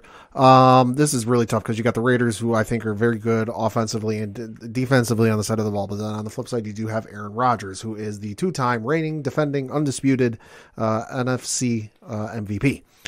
I think, and Christ Almighty, I'm flipping a coin in my head. I think it's going to be the uh, Las Vegas Raiders. I think. Hey, I think as good as Aaron Rodgers is, there's a lot on that defense working against him, and uh, just as much on the offense working against him. I think the Raiders will be able to pull it off. I just want to point this out. With him saying that, I'm very happy with you, Pad. Thank you for my uh, ego. Uh, I will say this though: if I was booking this like wrestling, be a great book because I think about it. Davante Adams meets Aaron Rodgers in the Super Bowl. Oh, writes and then itself. and then Davante defeats. Well, he, he's not the quarterback, but he defeats Aaron Rodgers. Aaron Rodgers can't get over that hump. It makes a lot of an interesting storyline if you're a wrestling fan. Uh, I don't know if it'll happen, but I, I mean, I would love to see that Super Bowl as well. Obviously, as a Raiders fan, I would be buying all sorts of shit. oh my God, yeah. I mean, I mean, I want to be going to the Super Bowl because I don't got money for that, brother. Holy shit! Yeah, let's Patreons take off for both of us. Yeah, because that ticket. Send Rich to the Super Bowl. It's going to be a lot, guys. Ex- exactly. We'll set up like a what GoFundMe We'll out something. GoFundMe or Kickstarter. Yeah, But then I'd have to lie and say that I have like some kind of rare disease that I got much like time to live, and then they're going to find out about the lie, and then they're going to make me try to feel like an asshole. And I'm going to tell you folks right now. I mean, it's going to make me sound like an asshole now. I still went to the Super Bowl, so I would have cared. this, is true. This is And true. if my team won, I would really not care. So, yes, judge me if you will. I'm sorry, but at least I admit it. Everybody else would have done the same thing, but you don't want to admit it. Yeah. At least I will. Yeah, this is true. So, Pad, before we wrap this up, so you got a couple notes to cap the season off here? Yeah, so obviously outside of the overseas games, there are a couple of notable games uh, we should mention this year for this upcoming season. Obviously, one of which being the Thanksgiving Day games, uh, which take place on Thursday, November twenty fourth, two thousand twenty two. Uh, at twelve thirty Eastern on CBS, you have the Buffalo Bills taking on the Detroit Lions in Detroit. Uh, at 4:30 p.m. on Fox, you have the New York Giants taking on the Dallas Cowboys in Dallas. And then at 8:20 p.m. on NBC, you have the New England Patriots taking on the Minnesota Vikings in Minnesota. Uh, and then because of the way the calendar falls this year, Christmas is on a Sunday, so there is a bunch of games taking place on December 24th. Look those up at your own leisure. Uh, but the ones we want to mention are there are some games taking place on Sunday, December Take that, NBA. Take that. Sunday, December 25th, 2022. Uh, at 1 p.m. Eastern on Fox, you have the Green Bay Packers taking on the Miami Dolphins in Miami.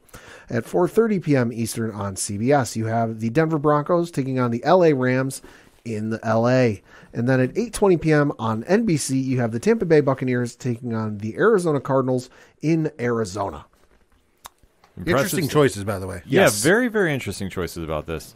So, Rich, before we get into the final locks and leaps segment, why don't you? T- well, first and foremost, thank you for coming through for the NFL preview shows. Oh, absolutely. This is my joy every year. It's a long time every year, but I enjoy it every year because I like talking football at the end of the day. Absolutely. And why don't you tell everybody where they can find you? Oh, let's keep it simple. It's 3fnpodcast.com. All the social medias are there. All the links are on there. Patreon, uh, TeePublic, uh, Twitch channel, all that happy jazz at 3fnpodcast.com. Also, while you're there, you can check out the 3FN podcast. Uh, you can you can find it anywhere you get great podcasts, but there is a player up there if you'd like to listen to it on the website. Also, there's a player for 607 TWS up there. And if you go to Friends of the Show, there's a player for the ODPH podcast as well.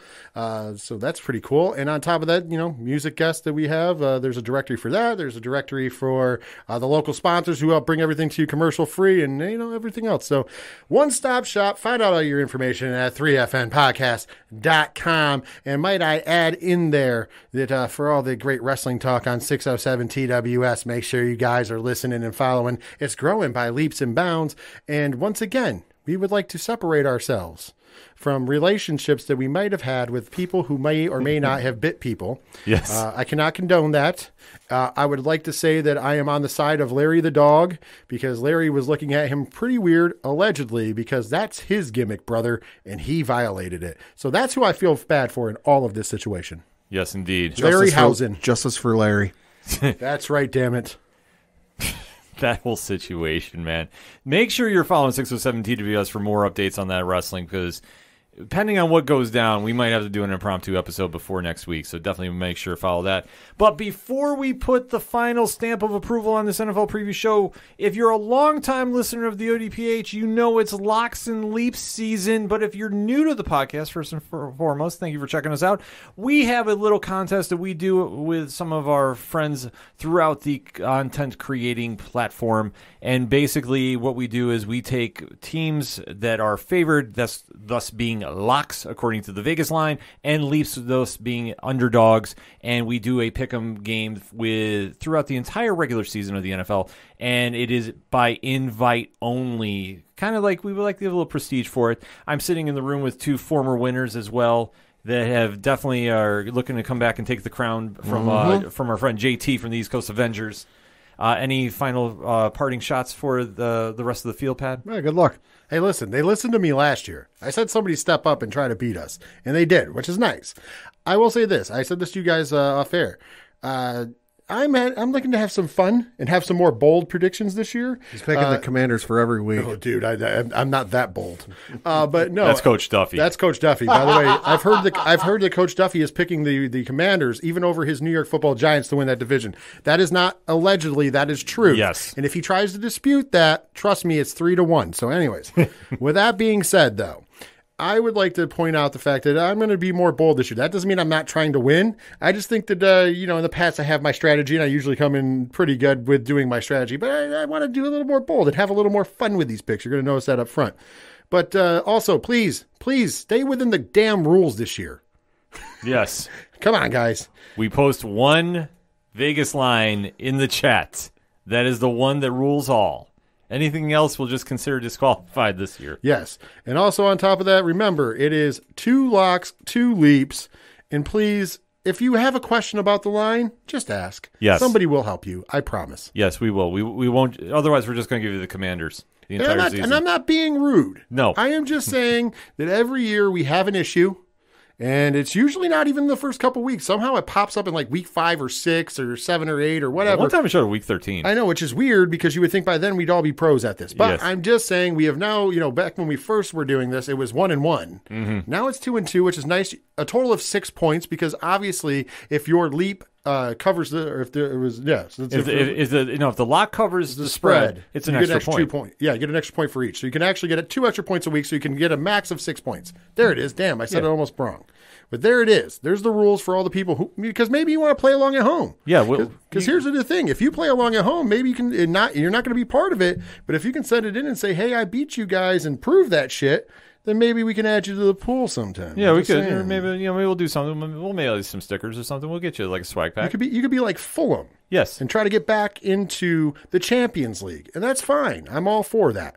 So I'm just saying, don't keep hope alive. Play along at home. It's a lot of fun. And also make sure you message us because you can tell us we're wrong or we're right or we're indifferent. yeah, because we put the we put it out on Twitter. We put it out on our Facebook. That's where the primary driver is for us. If you want By to the way, track this year. I'm going to put all of my picks on Twitter after I pick them. And uh, guys, it depends on the day because sometimes I'm busy. Yes, Understandable. And also, the rule is still in effect correct that if you miss a week for whatever reason, you can just double rule. pick the Padawan J rule. Okay, Yep. we're good. yes. So that is still in there. Everybody that's in the field will should have a copy of the rules uh, in their uh, inboxes. If not, DM me and I'll make sure we get this set because this year's field is as follows. Yours truly is in the field. Padawan J is in the field. JT from the East Coast Avengers is in the field, defending champion. Your coach, my coach, the coach.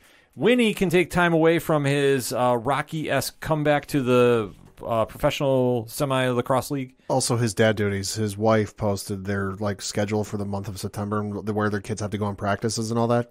God damn. Well, just let your kids pick again because they did a better job than you did last year. This is facts. This is absolutely. That's facts. actually true. Yeah, we're, that's not a sh- that's not a shoot or that's not a work. That's Or let your wife pick. 'cause Yeah. She also does a better job. Yeah, Aaron's always welcome to join the field. She just hasn't yet. But Well, she, could just pick for for coach because that way he might have a chance of winning. Yes, this is true. Uh, let's see. Mac East is in from the We Get Dub podcast. Evan the Great from Crossover Collision is in the field. Joey DiCarlo from the So Wizard podcast, who will be on the show next week, he is in the field. JVD from Crossover Collision is in the field. Rich from 3FN is in the field. Matt from Hops Geeks News is in the field. Brian Wayne from the from the Cheers to Comics podcast is in the field. Jay West from We Get Dubbed is in the field. And joining the field this year from the Brody Sports Talk, Caleb and Derek are in the field. And last but certainly not least, Mike from the Multiverse of Badness, you are in the field. So that said, we're going to give you our one lock and one leap that we'll be talking about next week on the show, starting with Pad. Uh, so for my lock, I'm going to go with the Carolina Panthers, uh, currently favored by one and a half points uh, over the excuse me uh, Cleveland Browns. I think Baker going to want to make a big statement very early. And then for my leap, I'm going to take the New England Patriots, currently uh, un- underdogs by three and a half points uh, down there in Miami. Ooh, all right. Rich? Well, for my uh, wonderful, wonderful lock, I am going with the Buffalo Bills to beat the Los Angeles Rams. Currently, they are favored by two and a half points, so a field goal will get me what I need. yes, this is true. So, also uh, for my leap, I am going to go and I'm going to do something. uh, As you guys notice, I did not pick them to be the division winner. I am a very pessimistic uh, person. I am a diehard Raiders fan, but I, I understand our place in the world. But with that being said, I am going with the Raiders to defeat the Los Angeles Chargers this first game of the season. I think if we punch them in the mouth early, it's going to be a good thing. So I'm going to roll with the black hole. Raiders are going to beat the Chargers. That is my leap. For my lock, I am taking the Baltimore Ravens minus seven over the New York Jets. I think they're going to get started on the Lamar Jackson uh, contract trail to get that money, and I think that he's definitely going to earn it. I think he's going to win and win big against them. And then my leap. Well, I know he's not in Buffalo anymore, but still, the Maserati has a place in my heart. I am going to take Pittsburgh plus six and a half over the Bengals to start the season out. So obviously, uh, Pittsburgh does very well when they're underdogs. So we'll see if that keeps up and true. So stay tuned for that next week, and we'll have the results for week one of the of Locks and Leaps. Man, can't wait to get started on that. So we'll just wrap it up very short and sweet for anything and everything that is the ODPH. It can be found at odphpodcast.com. For the one only Padawan J. Thank you, thank you. For Rich from 3FN. Absolutely. Thank you so much for having me on. I can't wait to do this again. I'm sure I'll stop it in the football season some other time. And uh, seriously, though, I have not, for over a decade now, been friends with Scott. Stop asking a grown man these questions. I'm your host, Ken M. Thank you as always for listening to the ODPH podcast, better known as the Ocho Duro Parlay Hour. See you next time.